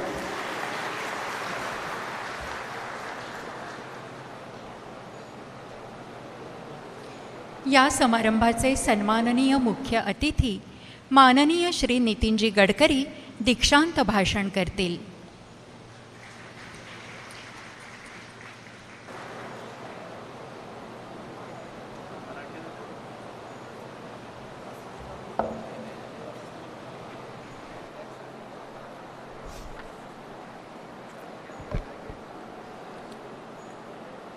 डॉक्टर पंजाबराव देशमुख कृषी विद्यापीठाच्या छत्तीसाव्या दीक्षांत समारंभानिमित्त देशाचे प्रथम कृषी मंत्री आदरणीय भाऊसाहेब उर्फ डॉक्टर पंजाबराव देशमुख यांच्या पावन स्मृतीस विनम्र अभिवादन करतो. त्याचप्रमाणे अन्नदाता असलेल्या शेतकऱ्यालाही पण अभिवादन करतो. आजच्या कार्यक्रमाचे अध्यक्ष महाराष्ट्राचे महामहिम राज्यपाल आदरणीय श्री भगतसिंह कोशियरेजी आदरणीय अतिथी माजी कुलगुरू पद्मश्री डॉक्टर मदान साहब, सन्मान्य कुलगुरू डॉक्टर व्ही एम भाले, कार्यकारी परिषदेचे सर्व सन्मान्य सदस्य, माजी कुलगुरू, शैक्षणिक परिषद सदस्य, अभ्यास मंडळाचे सदस्य, रजिस्ट्रार डॉक्टर काळबंडे त्याचप्रमाणे सर्व प्राध्यापक विद्यार्थी मित्र मित्रीण बंदी भगिनी शेतकरी बंधू पत्रकार आणि उपस्थित बांधवांना आणि बहिणींना सर्वप्रथम मी डॉक्टर पंजाबराव देशमुख कृषी विद्यापीठाचे कुलगुरू आपले त्याचप्रमाणे आपले महाराष्ट्राचे राज्यपाल आदरणीय कुलपती कार्यकारी परिषदेचे सर्व सन्मान्य सदस्य यांचे मनापासून आभार मानतो. की त्यांनी मला डॉक्टर ऑफ सायन्स ही मानद पदवी प्रदान केलेली आहे. याबद्दल त्यांच्याबद्दल ऋण व्यक्त करतो. खरं म्हणजे ही पदवी स्वीकारत असताना माझ्या मनामध्ये संभ्रम होता. संभ्रम या कारणाकरता होता की या ही पदवी स्वीकारण्याच्या आपण लायक आहो किंवा नाही आहोत. परंतु विशेषतः माननीय कुलगुरूंनी जेव्हा मला सांगितलं आणि कार्यकारी परिषदेचा निर्णय पण सांगितला. त्यावेळी त्या सगळ्यांच्याबद्दल सन्मान व्यक्त करण्याकरता आणि त्याबद्दलचं ऋण व्यक्त करण्याकरता मी ठरवलं की या कार्यक्रमामध्ये मी निश्चितपणे सहभागी होईल. खरं म्हणजे पंजाबराव कृषी विद्यापीठ हे आपल्या विदर्भातल्या शेतकऱ्यांकरता एक वरदान आहे. मी विद्यार्थी असताना या विद्यापीठाकरता मोठी चळवळ झाली होती. महाराष्ट्रामध्ये विदर्भात हे कृषी विद्यापीठ व्हावं याकरता मोठं आंदोलन झालेलं होतं. अनेक लोक शहीद झाले होते. आणि त्या सगळ्यांच्या बलिदानातून विदर्भाला हे कृषी विद्यापीठ मिळालं. आणि देशाचे पहिले कृषी मंत्री आणि शेतकऱ्यांना एक प्रकारे ज्यांनी शेतकऱ्यांच्या विकासाकरता आपलं जीवन समर्पित केलं असं डॉक्टर पंजाबराव देशमुख यांच्या नावाने या विद्यापीठाचं नामकरण झालं.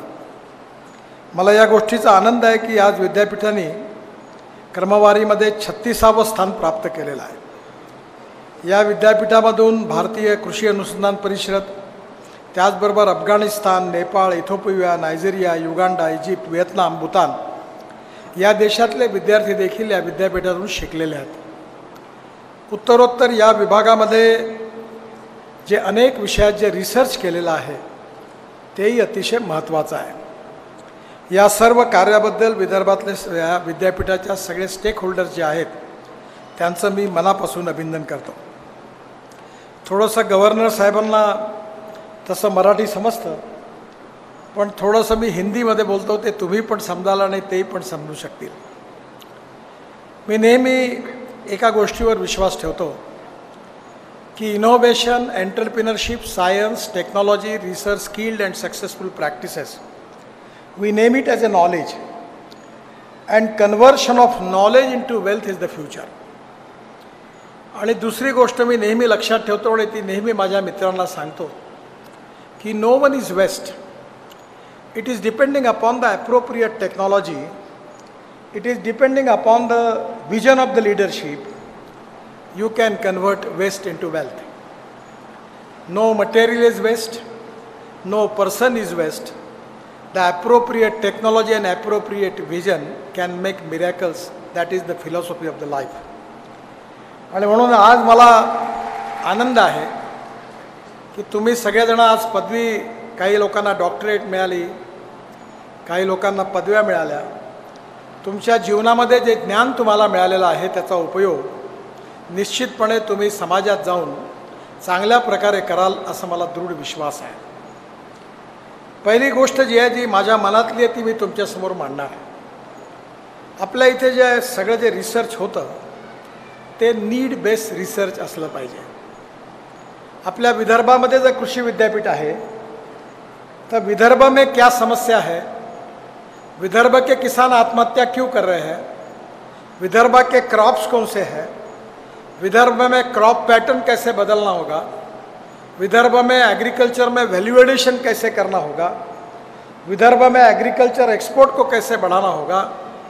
इसका अध्ययन करके, इस पर रिसर्च करके वैल्यू एडिशन करके नई एम्प्लॉयमेंट क्रिएट करना एग्रीकल्चर ग्रोथ रेट को बढ़ाना, और इसके लिए आवश्यक सभी बातों को निर्माण करना, ये हमारी मॉरल और वैसे भी सभी प्रकार की ज़िम्मेदारी है।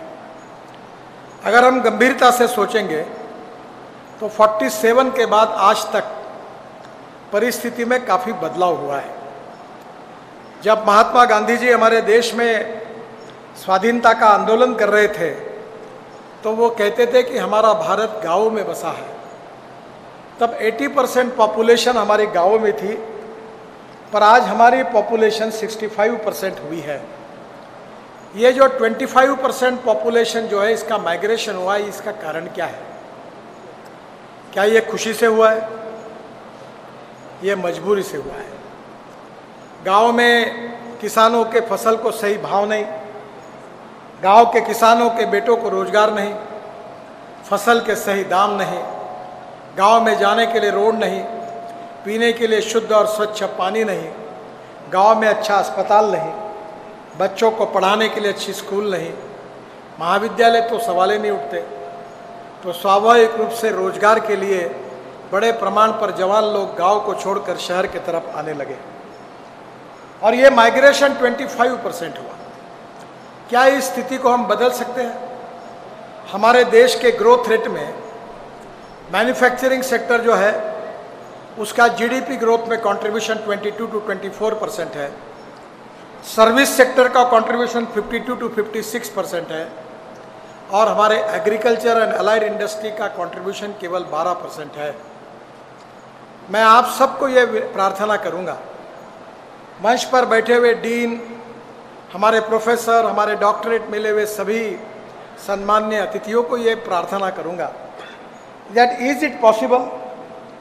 That we can take our agriculture growth rate from 12% to 20% within 5 years i feel that this is not a it is a difficult task but it's not a impossible task ये हो सकता है और ये करने में हमारे यूनिवर्सिटीज़ की भूमिका बहुत महत्वपूर्ण है और इसमें सबसे बड़ी बात जो है इसमें हमें क्या क्या करना होगा इसका जो planning in detail and planning in advance करने की अगर कोई इंस्टीट्यूशन है, जो किसानों को नीड बेस्ड रिसर्च के आधार पर मार्गदर्शन कर सकती है, वो ऑर्गेनाइजेशन अगर कोई है तो हमारी एग्रीकल्चर यूनिवर्सिटी है, जो इसकी विजन दे सकती है।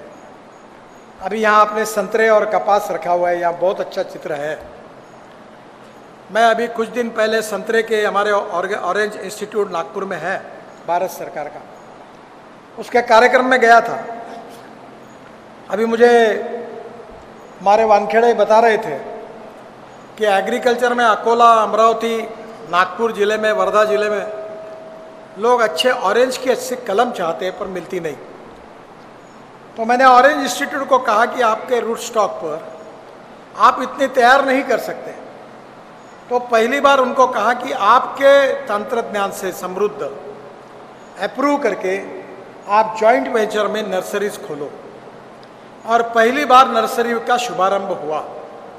और बड़े प्रमाण पर अब ऑरेंज की नर्सरी शुरू हो रही है, जिसका मार्गदर्शन ऑरेंज रिसर्च इंस्टीट्यूट करेगा और रूट स्टॉक बदलेगा।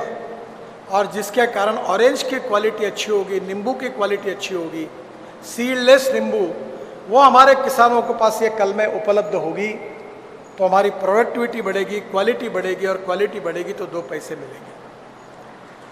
आपको मैं ज़रूर कहूँगा कि नासिक में जाने के बाद एक शिंदे करके किसान है। उनकी फार्मर प्रोड्यूस कंपनी है। वो 1500 करोड़ के अंगूर एक्सपोर्ट करते हैं। और उस दिन शिंदे उस कार्यक्रम में थे। उन्होंने स्पेन से 10 ऑरेंज के कलमा वहाँ से लाई। और जो स्पेन में अच्छा ऑरेंजेस है, उसकी कलमा को यहाँ के कलम के साथ बनाकर वो नई जातियों का संशोधन करने जा रहे हैं। क्या हमारे पास, हमारे किसान, हमारी नीड बेस्ड रिसर्च के आधार पर वर्ल्ड की मार्केट में जो ऑरेंजेस हमको चाहिए, क्या वो ऑरेंजेस हमारा टेबल फ्रूट करके ऑरेंज बहुत प्रसिद्ध है, क्या उस कलमों को बना सकते हैं? क्या हम किसानों को ये दे सकते हैं? क्या हम ये नर्सरियाँ खोल सकते हैं? अभी मैं एयरपोर्ट से उतरा आ रहा था तो बीच में पेड़ लगे थे।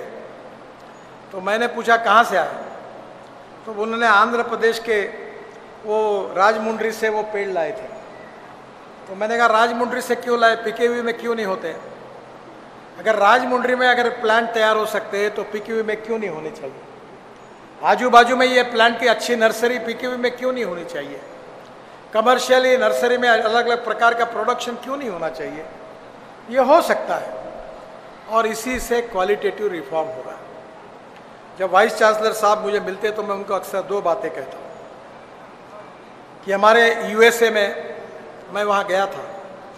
सोयाबीन का पर एकड़ प्रोडक्शन 30 क्विंटल है। अर्जेंटीना में 29 क्विंटल है। ब्राज़ील में 26 क्विंटल है। और विदर्भ में और महाराष्ट्र में और हमारे देश में 6 quintal. What is the reason you you are the expert people आपको इसका जवाब देना पड़ेगा कि हमें क्या करने से हम इसकी प्रोडक्टिविटी बढ़ा सकते हैं। और इसलिए जीएम सीड की बात होती है, विवाद का विषय बनता है। पर वर्ल्ड में जो टेक्नोलॉजी जो रिसर्च करके जिन्होंने हासिल किया है, वो भारत में हम हासिल क्यों नहीं कर सकते? इसराइल में एक एकड़ में 25 क्विंटल कपास होता है। विदर्भ में क्यों नहीं होता? मुझे बहुत खुशी है, मैं गन्ने में काम करता हूँ। हमारे यहाँ कोल्हापुर, सांगली, सातारा ज़िले में 100 टन से ज़्यादा गन्ना होता था। अब विदर्भ में, नागपुर ज़िले में, भंडारा ज़िले में, वर्धा ज़िले में कम से कम 60 किसान ऐसे हुए हैं कि जो 100 टन एकरी, एक एकड़ में ज़्यादा गन्ना का उत्पादन निकालते हैं। ये सिद्ध हुआ है। हमारे यहाँ किसानों में टैलेंट की कमी नहीं है। उन्हें अप्रोप्रिएट विजन देकर टेक्नोलॉजी और रिसर्च करके उनको सही मार्गदर्शन की आवश्यकता है। और इसमें हमारी पर एकड़ एक्सपेंडिचर कॉस्ट को भी कम करना होगा। ड्रोन का इस्तेमाल करना होगा। नैनो यूरिया की बात आई है। एक एकड़ में हम फर्टिलाइज़र पर दो बोरे यूरिया की अगर बचत करेंगे तो कितना फ़ायदा होगा। To save money is to earn money तो ड्रोन के साथ स्प्रेइंग करके नैनो यूरिया की नैनो फर्टिलाइज़र की नैनो पेस्टिसाइड की बात होगी, ये प्रयोग कौन करेंगे? आप ही करेंगे। और आप अगर इसकी लीडरशिप लेंगे आपके गाँव में तो आपका आर्थिक फ़ायदा होगा और आपका अनुकरण पूरा गाँव करेगा। और मैं आपसे यही एक्सपेक्ट करता हूँ कि ये appropriate leadership with appropriate vision in your particular village you are the capable leadership that you can give a capable leadership and a good experiment and good example of success story to the all type of poor farmers those who are socially economically educationally backward you can train them आप उनका प्रशिक्षण कर सकते हैं और इसलिए नए नए संशोधन को लोगों के पास लेके जाना आज मैं आपको और एक अनुरोध करूँगा अभी ये सब एग्रीकल्चर एक्सपर्ट है, मैं भी कपास की खेती करता था। अभी भी हमारे यहाँ कपास लगाना बंद कर दिया। सोयाबीन लगाता था, सोयाबीन लगाना भी बंद कर दिया। अब तो हमारे यहाँ गन्ना और वेजिटेबल लगते हैं। ऐसा क्यों हुआ? क्योंकि कपास में मैं जब स्टूडेंट था, तब एच फोर का ज़माना था एच सिक्स का ज़माना था, वरलक्ष्मी का ज़माना था एल फोर्टी सेवन थी। तब बड़ा मुश्किल से मैं बहुत मेहनत करता था। मैं लॉ कॉलेज में पढ़ता था। उस समय मुझे एक लाख रुपए का कपास हुआ। एक एकड़ में ग्यारह क्विंटल कपास निकला। पर जब साल के आखिरी में मैंने हिसाब लगाया तो इंसेक्टिसाइड फर्टिलाइज़र का हिसाब करने के बाद एक लाख रुपए का कपास हुआ और नब्बे हज़ार रुपए का खर्चा हुआ। कहाँ किसान जाएगा? यह बहुत आसानी से बताया जाता है कि आप ये लगाओ, वो लगाओ। मैं महाराष्ट्र में मंत्री था, आप शायद मेरे ऊपर नाराज़ होंगे।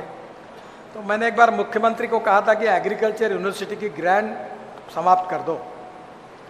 और इनको कहो, ये जो तनख्वाह ले रहे पांचवा, छठवा वेतन आयोग, इनको कहो, सीड प्लॉट लो, जॉइंट वेंचर करो।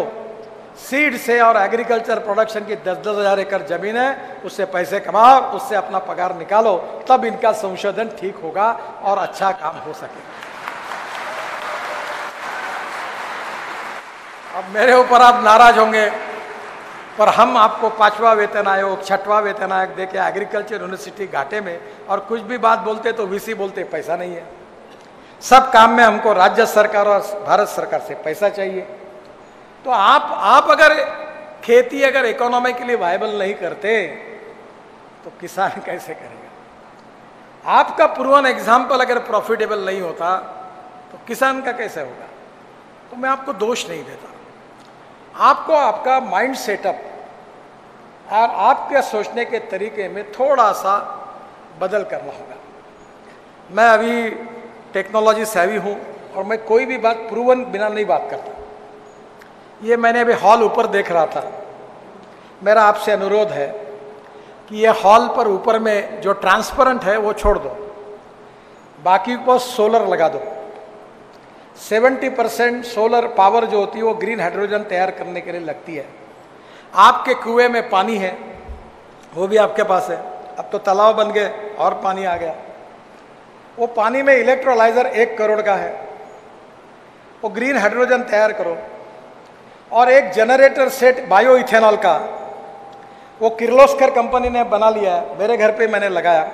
वो लगा दो और ग्रीन हाइड्रोजन तैयार करो और रोड पर एक पंप डाल दो। ये फ्यूचर है। एक किलो ग्रीन हाइड्रोजन सत्तर रुपए किलो का होगा और जिसके ऊपर 400 किलोमीटर का एवरेज मिलेगा। तो कोई पेट्रोल डीजल यूज़ ही नहीं करेगा। मैंने अभी गवर्नर साहब को कहा कि मेरे घर पर दिल्ली आइए मैं हाइड्रोजन के कार में आपको घुमाऊँगा। मर्सिडीज से भी अच्छी कार है। धुआँ भी नहीं होता। This is the future, futuristic technology and appropriate vision for the future. You can donate ah, but you cannot donate vision. आप दे सकते हो ये गेहूँ चावल मका लगाकर कोई भविष्य बदलेगा मेरा विश्वास इसके ऊपर का उड़ गया 20 साल मैंने मेहनत की अब अन्नदाता नहीं ऊर्जादाता बनो और मेरी मैं तो सर तुम्हारे सबके गाड़ियों के पेट्रोल में अकोला बुल्ढाना ज़िले तक। मैंने हमने बनाया हुआ इथेनॉल डाला हुआ है, दस परसेंट। अब मैं बीस परसेंट आ रहा है। और तुम्हारे गाड़ी में चल रहा है, जितनी स्कूटर चल रही, जितनी इंडियन ऑयल और भारत पेट्रोलियम के पंप है ना, हमारे किसानों का, हमने, मैंने विदर्भ में तैयार किया इथेनॉल डाला है। और अभी टोयोटो कंपनी की गाड़ी आई है। वो फ्लेक्स इंजन पर है। हंड्रेड परसेंट बायो इथेनॉल और मदान साहब को मैं बताऊँगा कि रिसर्च में दम कितना है। मैंने रशिया से सुना कि एक साइंटिस्ट थे। उन्होंने इथेनॉल की कैलोरिक वैल्यू पेट्रोल के बराबर की। तो एक लीटर पेट्रोल बराबर वन लीटर 300 सौ एम इथेनॉल था। तो जब मैंने ये देखा तो मैंने रशियन साइंटिस्ट को इंडिया में बुलाया। मेरा प्रेजेंटेशन होने के बाद मैंने इंडियन ऑयल के चेयरमैन वैद्य साहब है। और एक राम कुमार करके फरीदाबाद में उनके लेबोरेटरी के डायरेक्टर बहुत अच्छे विद्वान साइंटिस्ट हैं। और पेट्रोलियम मंत्री को घर पे बुलाया। और रशियन साइंटिस्ट से उनकी मुलाकात कर दी। तो राम कुमार जी बहुत बड़े साइंटिस्ट हैं पेट्रोलियम के। उनने कहा, sir can I request you मतलब बोलो, कुछ भी बोलो। Sir they are telling but I feel it is very difficult it is not going to happen मैंने मैंने उनको कहा, राम कुमार जी, गाजर की पुगी है ट्राई करके देखो, बचती है तो बजाओ, नहीं तो खा लो, इनको भेज दो वापस. तीन महीने प्रयोग हुआ। और after three month Ram Kumar ji ने मुझे और पेट्रोलियम मंत्री को जवाब दिया कि experiment is successful now the ethanol caloric value is equal to petrol और हम इसको एक्सेप्ट करेंगे। एक निर्णय से देश के बीस हज़ार करोड़ रुपए का बचत हुआ। बीस हज़ार करोड़।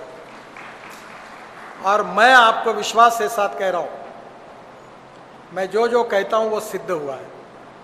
2004 से बोलते रहता हूँ, पहले तो लोग मुझे पागल समझते थे, फिर धीरे धीरे मैं बोलता हूँ वही बात कहते हैं, और एक एक बात प्रूव हुई।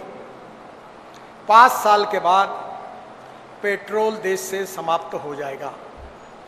आपकी स्कूटर, आपकी कार एक तो हाइड्रोजन पे होगी, ग्रीन हाइड्रोजन पर, या इथेनॉल पर, फ्लेक्स इंजन पर होगी, या सीएनजी और एलएनजी पर होगी। मैं वीसी साहब को प्रार्थना करूँगा कि अब एक टन राइस स्ट्रॉ पाँच टन राइस स्ट्रॉ एक टन बायो सीएनजी और बायो एलएनजी दे रहा है। अब पंजाब में इंडियन ऑयल ने प्लान डाला हुआ है कि परली से एक लाख लीटर इथेनॉल और डेढ़ सौ टन बायो बिटुमिन बना रहे हैं।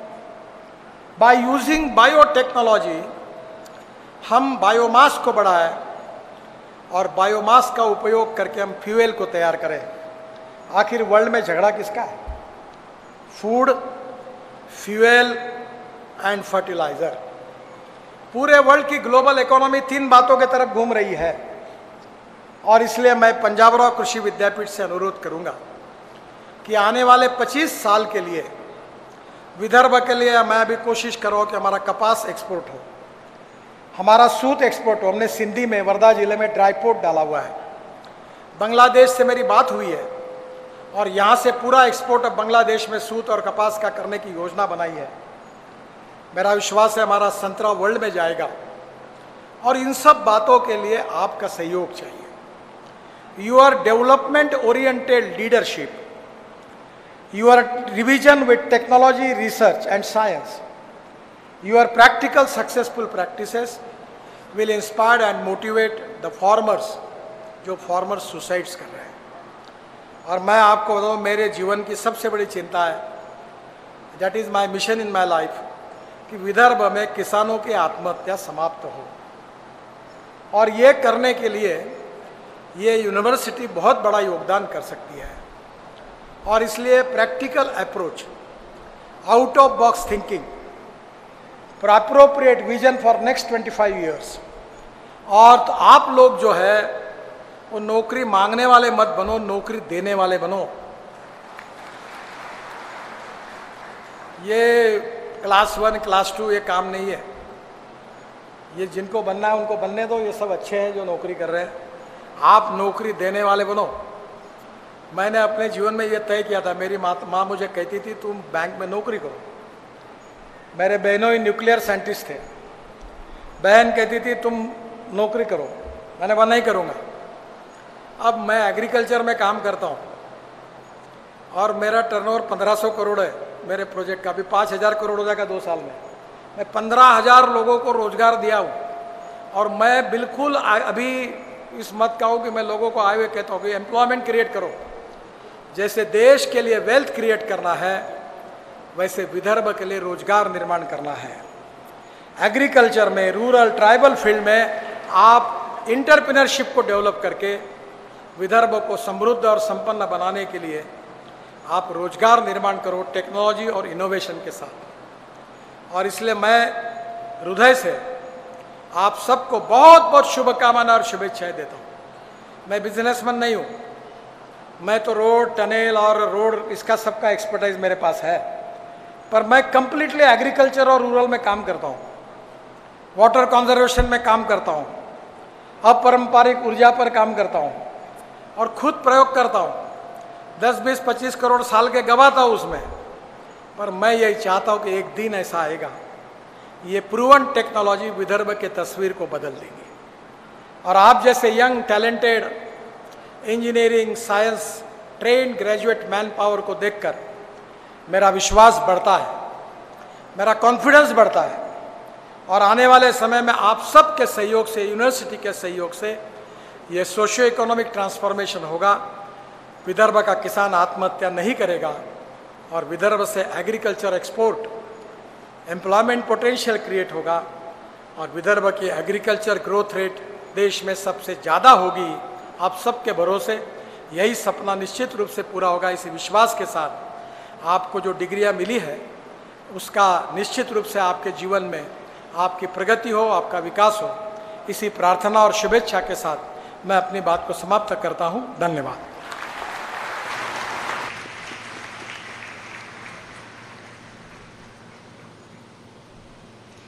या विद्यापीठाचे सन्माननीय कुलपती महोदय पदवीकांक्षींना मार्गदर्शन करतील.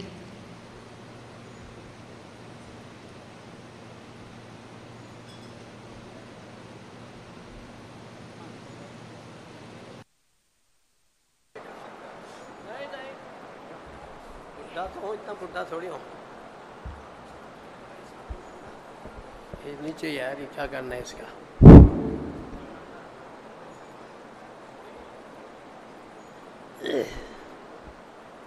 डॉक्टर पंजाब राव, देशमुख कृषि विद्यापीठ, अकोला के 36 कन्वोकेशन के अवसर पर हमारे मध्य में अभी आप जिनको सुन रहे थे, मुझे लग रहा था आप सुन ही नहीं रहे थे, बल्कि उनको ध्यान से सुन रहे थे।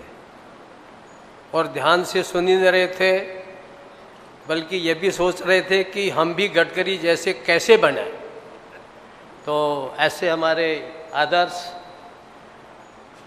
केंद्रीय मंत्री, आदरणीय नितिन गडकरी जी, हमारे वाइस चांसलर, डॉक्टर विलास वाले जी, आज प्रमुख रूप से बोलने वाले पूर्व वाइस चांसलर डॉक्टर अमल मैदान जी कुल सचिव जी, सभी प्राध्यापकगण मैनेजमेंट के सदस्यगण, अभिभावकगण, और आज जिन सबको डिफरेंट डिग्रीज पदवी मिली है, ऐसे ऐसे सभी छात्र छात्रागण मैं सबसे पहले आज जिन लोगों को अलग अलग डिग्रीज मिली है, पदवी मिली है उन सब का अभिनंदन करता हूँ। I congratulate you all and wish you best of luck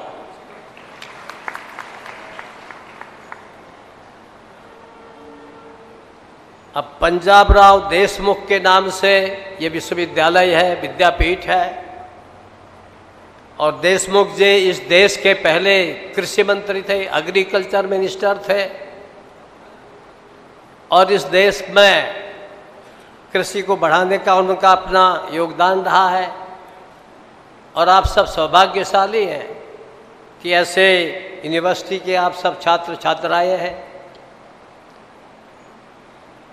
और आज हमारे देश के अंदर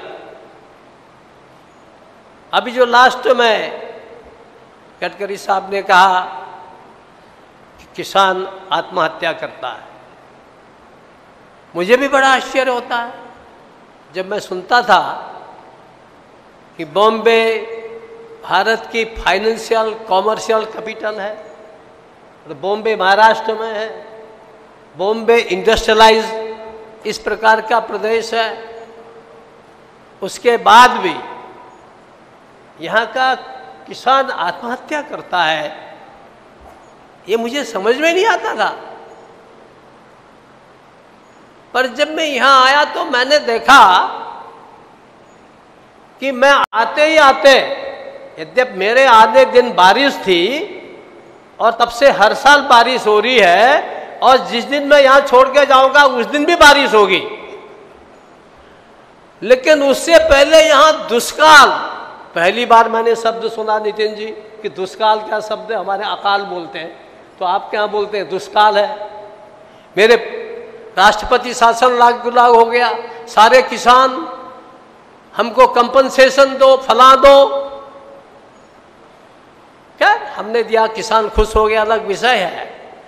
लेकिन मैं ये विषय आपके सामने इसलिए रख रहा हूँ कि आप सब छात्र छात्राएँ यहाँ जब अध्ययन करते हैं तो हम सोच के क्या आते हैं?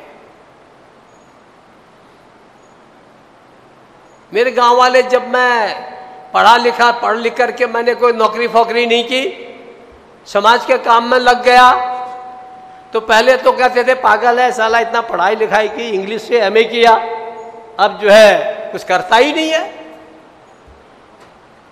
तो बाद बाद में जब देखा कि नहीं, जिस काम में मैं लगा, उसका देश में यश फैल रहा है, मेरे को भी लोग मानने लग गए हैं तो सब मेरे पास आते हैं अरे, बहुत अच्छा है। तो वो कहते थे, यार, तुम जब छोटे थे ना, हम तुझसे पूछते थे, अरे, भगत, क्या बनेगा? तो बोले, तू तीन चार में पढ़ता होगा, तू कहता था कि मैं समाज सेवा करूँगा.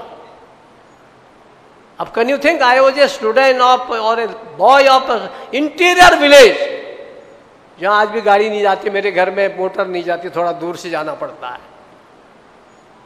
तो ये शब्द मैंने इसलिए कहा कि आफ्टर ऑल अभी मदान कह रहे थे कि ड्रीम सपना।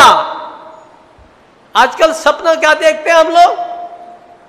हम विज्ञान पढ़ें, कृषि विज्ञान पढ़ें फिलोसॉफी पढ़ें साइकोलॉजी पढ़ें लिटरेचर पढ़ें।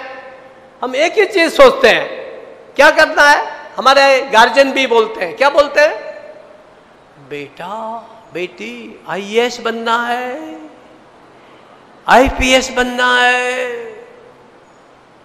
और मैंने देखा कि मेरे समय में I am talking long about some fifty years back कुछ लड़के लड़कियाँ तो एक बार, दो बार, तीन बार I S P C S bright students कोशिश करते और जब नहीं निकलते तो पागल हो जाते। ये कौन सा लक्ष्य है भाई? कि आप केवल इस लाइन पर सोचो कि मुझे तो नहीं, बढ़िया से बढ़िया नौकरी करनी मैं नहीं कह रहा कि नौकरी मत करो। मैं नहीं कह रहा हूँ कि आप अच्छी नौकरी मत ढूंढो। ये मैं नहीं कह रहा हूँ।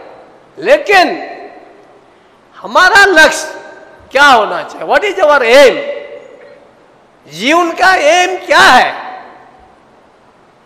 हम लोग बचपन में पढ़ते थे कि श्रवण कुमार कैसे मातृभक्त मातृ पितृभक्त था। वो हमको सिखाया जाता था। कि बच्चों माता पिता के भक्त बनो। हरिश्चंद्र की कहानी, श्रवण कुमार की, ध्रुव की, प्रहलाद की, ये कहानियाँ हमको बताई जाती थी। क्यों बताई जाती थी? उस कहानियों के मांस माध्यम से वो हमारे अंदर ये इनकलकेट करते थे कि तुमको एक आदर्श नागरिक बनना है an ideal citizen you have to become क्या हमने कभी सोचा कि are we ideal citizens are we going to be the ideal citizens अब आपके सामने नितिन गडकरी साहब है। आप इनको किसी विषय पर बोलिए। मैं तो भाषण दे सकता हूँ खुद तो एक घंटा बोल सकता हूँ, आपके सामने दो घंटा भी बोल सकता हूँ। पर काम करना हो, सीखना हो तो जरा नितिन गडकरी के पास जाओ। और इसलिए नितिन जी, सबसे पहले आपका मैं बहुत अभिनंदन करता हूँ।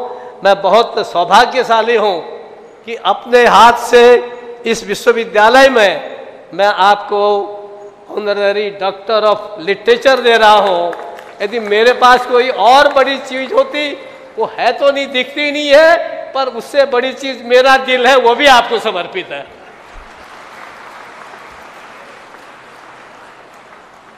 सीखने के लिए आज लोग कहते हैं who is icon who is your model और आपके सामने तो सामने बैठे हैं ना। आपको कोई इंग्लैंड अमेरिका जाने की ज़रूरत नहीं, कोई वो स्वामीनाथन को या क्या है, वो बोरकर क्या थे उनको उनको देखने की ज़रूरत नहीं है। एंड जस्ट सी अभी वो बोले कि हाइड्रोजन ग्रीन हाइड्रोजन पावर आप लोगों को कहा है। मैंने आपके वीसी साहब से कहा है कि मैं अपने राजभवन में मैंने बहुत प्रयोग कर रखे वहाँ। अभी नितिन जी आएँगे तो उनको अच्छा लगेगा। बहुत से वो यहाँ नहीं बोलने का टाइम नहीं है। परंतु मैंने वहाँ प्रधानमंत्री के सामने कहा, अभी उद्घाटन करने आए थे मेरे यहाँ। मैंने कहा, अगले दो महीने के अंदर मैं राजभवन में 500 किलोवाट का ग्रीन हाइड्रोजन लगाऊँगा। तो ये क्या है कि हम सब लोग क्या क्या नहीं कर सकते हैं? अगर ये सीखना हो, ये आपको बता सकता हूँ, या तो नरेंद्र मोदी को देखो, या फिर सामने नितिन गडकरी, वहाँ तुम पहुँच नहीं पाओगे। ये रात दिन आपके पास है, और इनके प्रयोग देखो। जाने क्या क्या प्रयोग करते रहते हैं? ये कोई किसान नहीं है ऐसे मेरी तरह से कि एक गरीब किसान के बच्चे नहीं है। लेकिन कृषि के अंदर इनकी mastery sometimes even your professor will feel असेन कि भाई, ये man who has nothing to do with agriculture he has done so many experiments so many successful experiments अभी बायोस्फीयर अभी बायोस की सब बातें कर रहे थे, और सारी बातें बोल रहे थे। हाउ इज़ इट कैसे कर लिया उन्होंने? डिटर्मिनेशन विजन थिंकिंग अब क्या हुआ? कुछ करो तो क्या कहा? क्या करें साहब? पढ़े लिख लिया नौकरी नहीं मिलती है। जो बोलो, नौकरी नहीं मिलती है। अब बताओ, इतने यहाँ पर आपके पीएचडी पैदा हो गए। अब पहले तो लड़के लड़के मुल्का मुल्का अब तो सारी मुल्की भी पीएचडी हो गई है। अब भाई, इतने को कहा मिले को मेरे को नाराज़ हो रही अर्चना। हमारे हमारे बच्चों को मना क्यों कर रहे हो? है? देखो, हमारे हिंदी में नितिन जी घाघ कवि हुए हैं घाघ वो ग्रामीण कवि थे, ग्रामीण।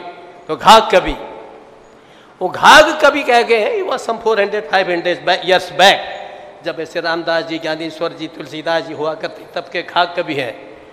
तो घाघ कवि कहते थे, उत्तम खेती,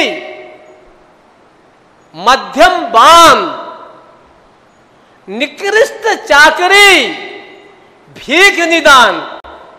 कैन अंडरस्टैंड समझते हो विषय को? उत्तम खेती जो खेती है एग्रीकल्चर है, ये सबसे उत्तम है द बेस्ट है। उसके बाद क्या है? What to what is next खेती के बाद क्या है? कृषि के बाद? बान। बान माने बिज़नेस खेती सबसे बढ़िया है। और you are all fortunate you are the student of agriculture कितने सौभाग्यशाली हो। मध्यम बान उसके बाद कौन सी चीज़ है? उसके बाद बिज़नेस सेकंड चीज़ है। निकृष्ट चाकरी, जिसको आज लोग सर्विस कहते हो, नौकरी कहते हो। आप बुरा मत माना प्रोफेसर लोगों। वो कह गए कि ये तो निकृष्ट है। बेकार है, खत्म है। और उसके बाद और उससे खराब क्या है? भीख निदान। और बोले, भीख मांगना तो मरने के समान है। वो किसान था, गाँव का आदमी था। आपके गाँव में भी ऐसे बहुत लोग मिलेंगे जो इतनी अच्छी अच्छी बातें करते हैं। उनके पास जाओ सुनो। मुझे कभी कभी मैं गाँव जाता था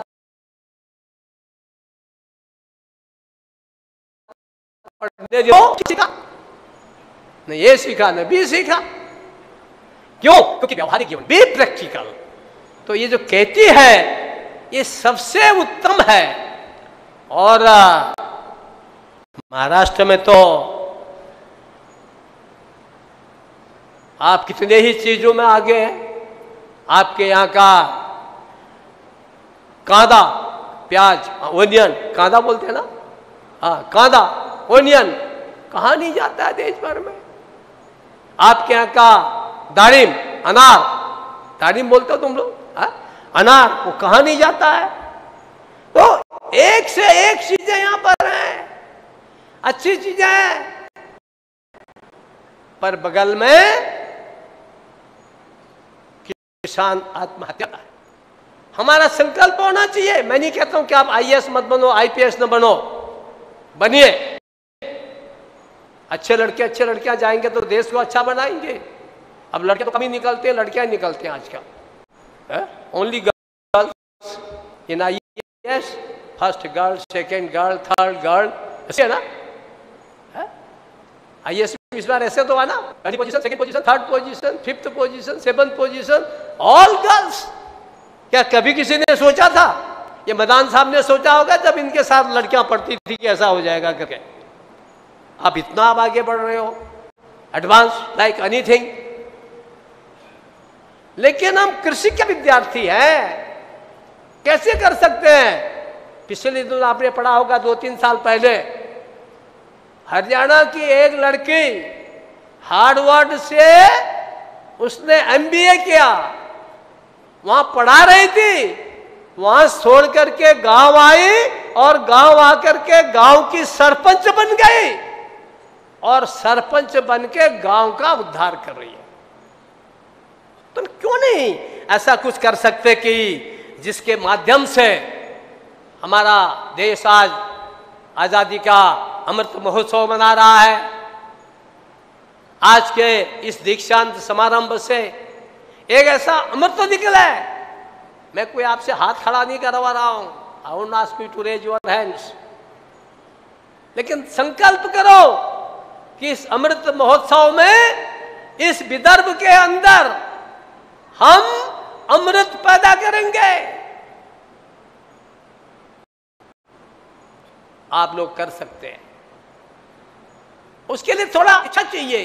इच्छा शक्ति चाहिए। बहुत अच्छा काम कर रहे हैं। नितिन जी, मैं बहुत से यूनिवर्सिटीज में गया हूँ और सारी यूनिवर्सिटीज में आप लोगों में से कि मैंने काम देखे, कोई द्रोण बना रहा है, कोई लेटेस्ट जो है, अपना इंजीनियरिंग के बहुत अच्छे काम कर रहे हैं, बहुत अच्छे काम कर रहे हैं, पर कोशिश करिए।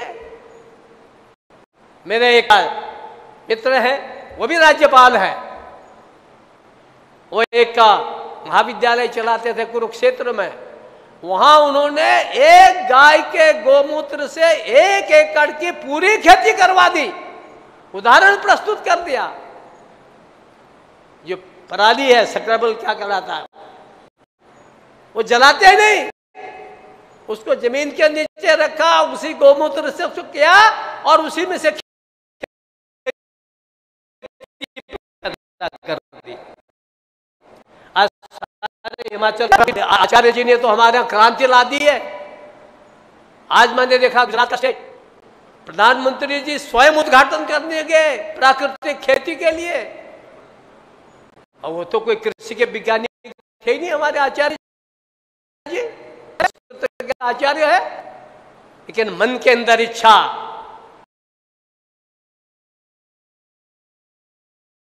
कि हम फर्टिलाइज़र वैज्ञानिक बोलेंगे कि उससे उत्पादन कम होगा। ये लोग कहते हैं ऑर्गेनिक में उत्पादन कम होता है। नहीं भी ट्रू मैंने कहता सही नहीं है। परंतु आखिर जो मृदा की, जो सॉइल की जीवन है, वो तो नेचुरली में पैदा होगा ना आगे। या नेचुरल होगा। आप और हम नेचुरल खाना खाएँगे तो अच्छा होगा या कि रोज़ाना नूडल खाते रहोगे तो अच्छा रहेगा? है? जो नेचुरल है, उसका एक आनंद ही अलग है। ऐसे धरती का सॉइल का है। इस सॉइल को, मृदा को हम कैसे बचाएँ? एक जो साइंस से संबंध नहीं कृषि से संबंध नहीं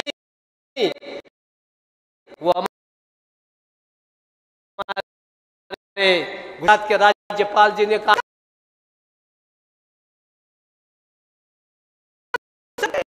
मैं आपके प्रोफेसर कहता हूँ सारे समझाओ कि जिसके कारण से हमारी ज़मीन बची रहे, उसकी उत्पादकता बढ़ती रहे, खत्म न हो तो हम क्या प्रयोग कर सकते हैं? कुछ अच्छा लोगों ने कुछ सोचना चाहिए, काम कराइए और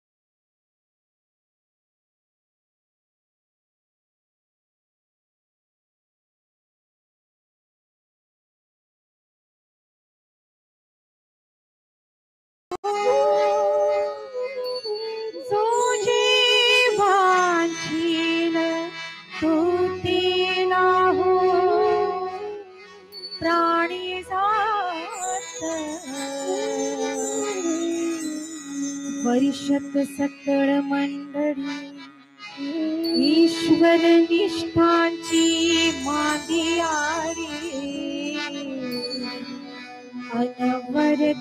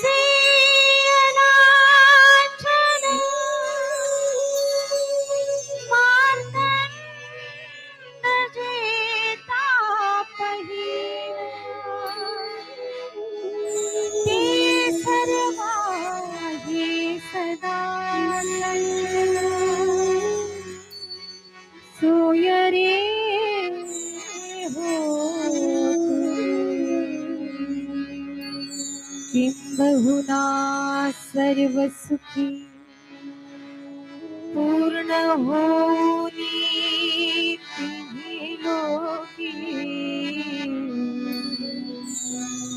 भजे जो आदि पुरुषी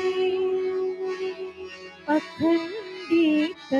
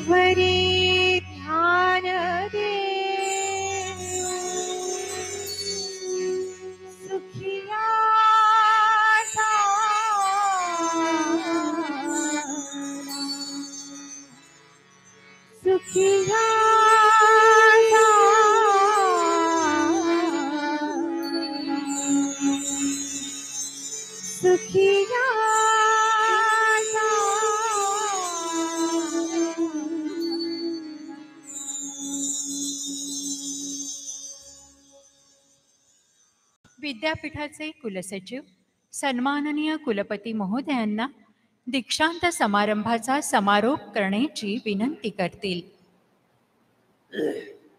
सन्मान्य कुलपती महोदय दीक्षांत समारंभ समाप्त झाल्याचे घोषित करावे ही विनंती. दीक्षांत समारंभ समाप्त झाल्याचे मी घोषित करतो. सर्व सभाजन राष्ट्रगीताकरिता उभे राहतील.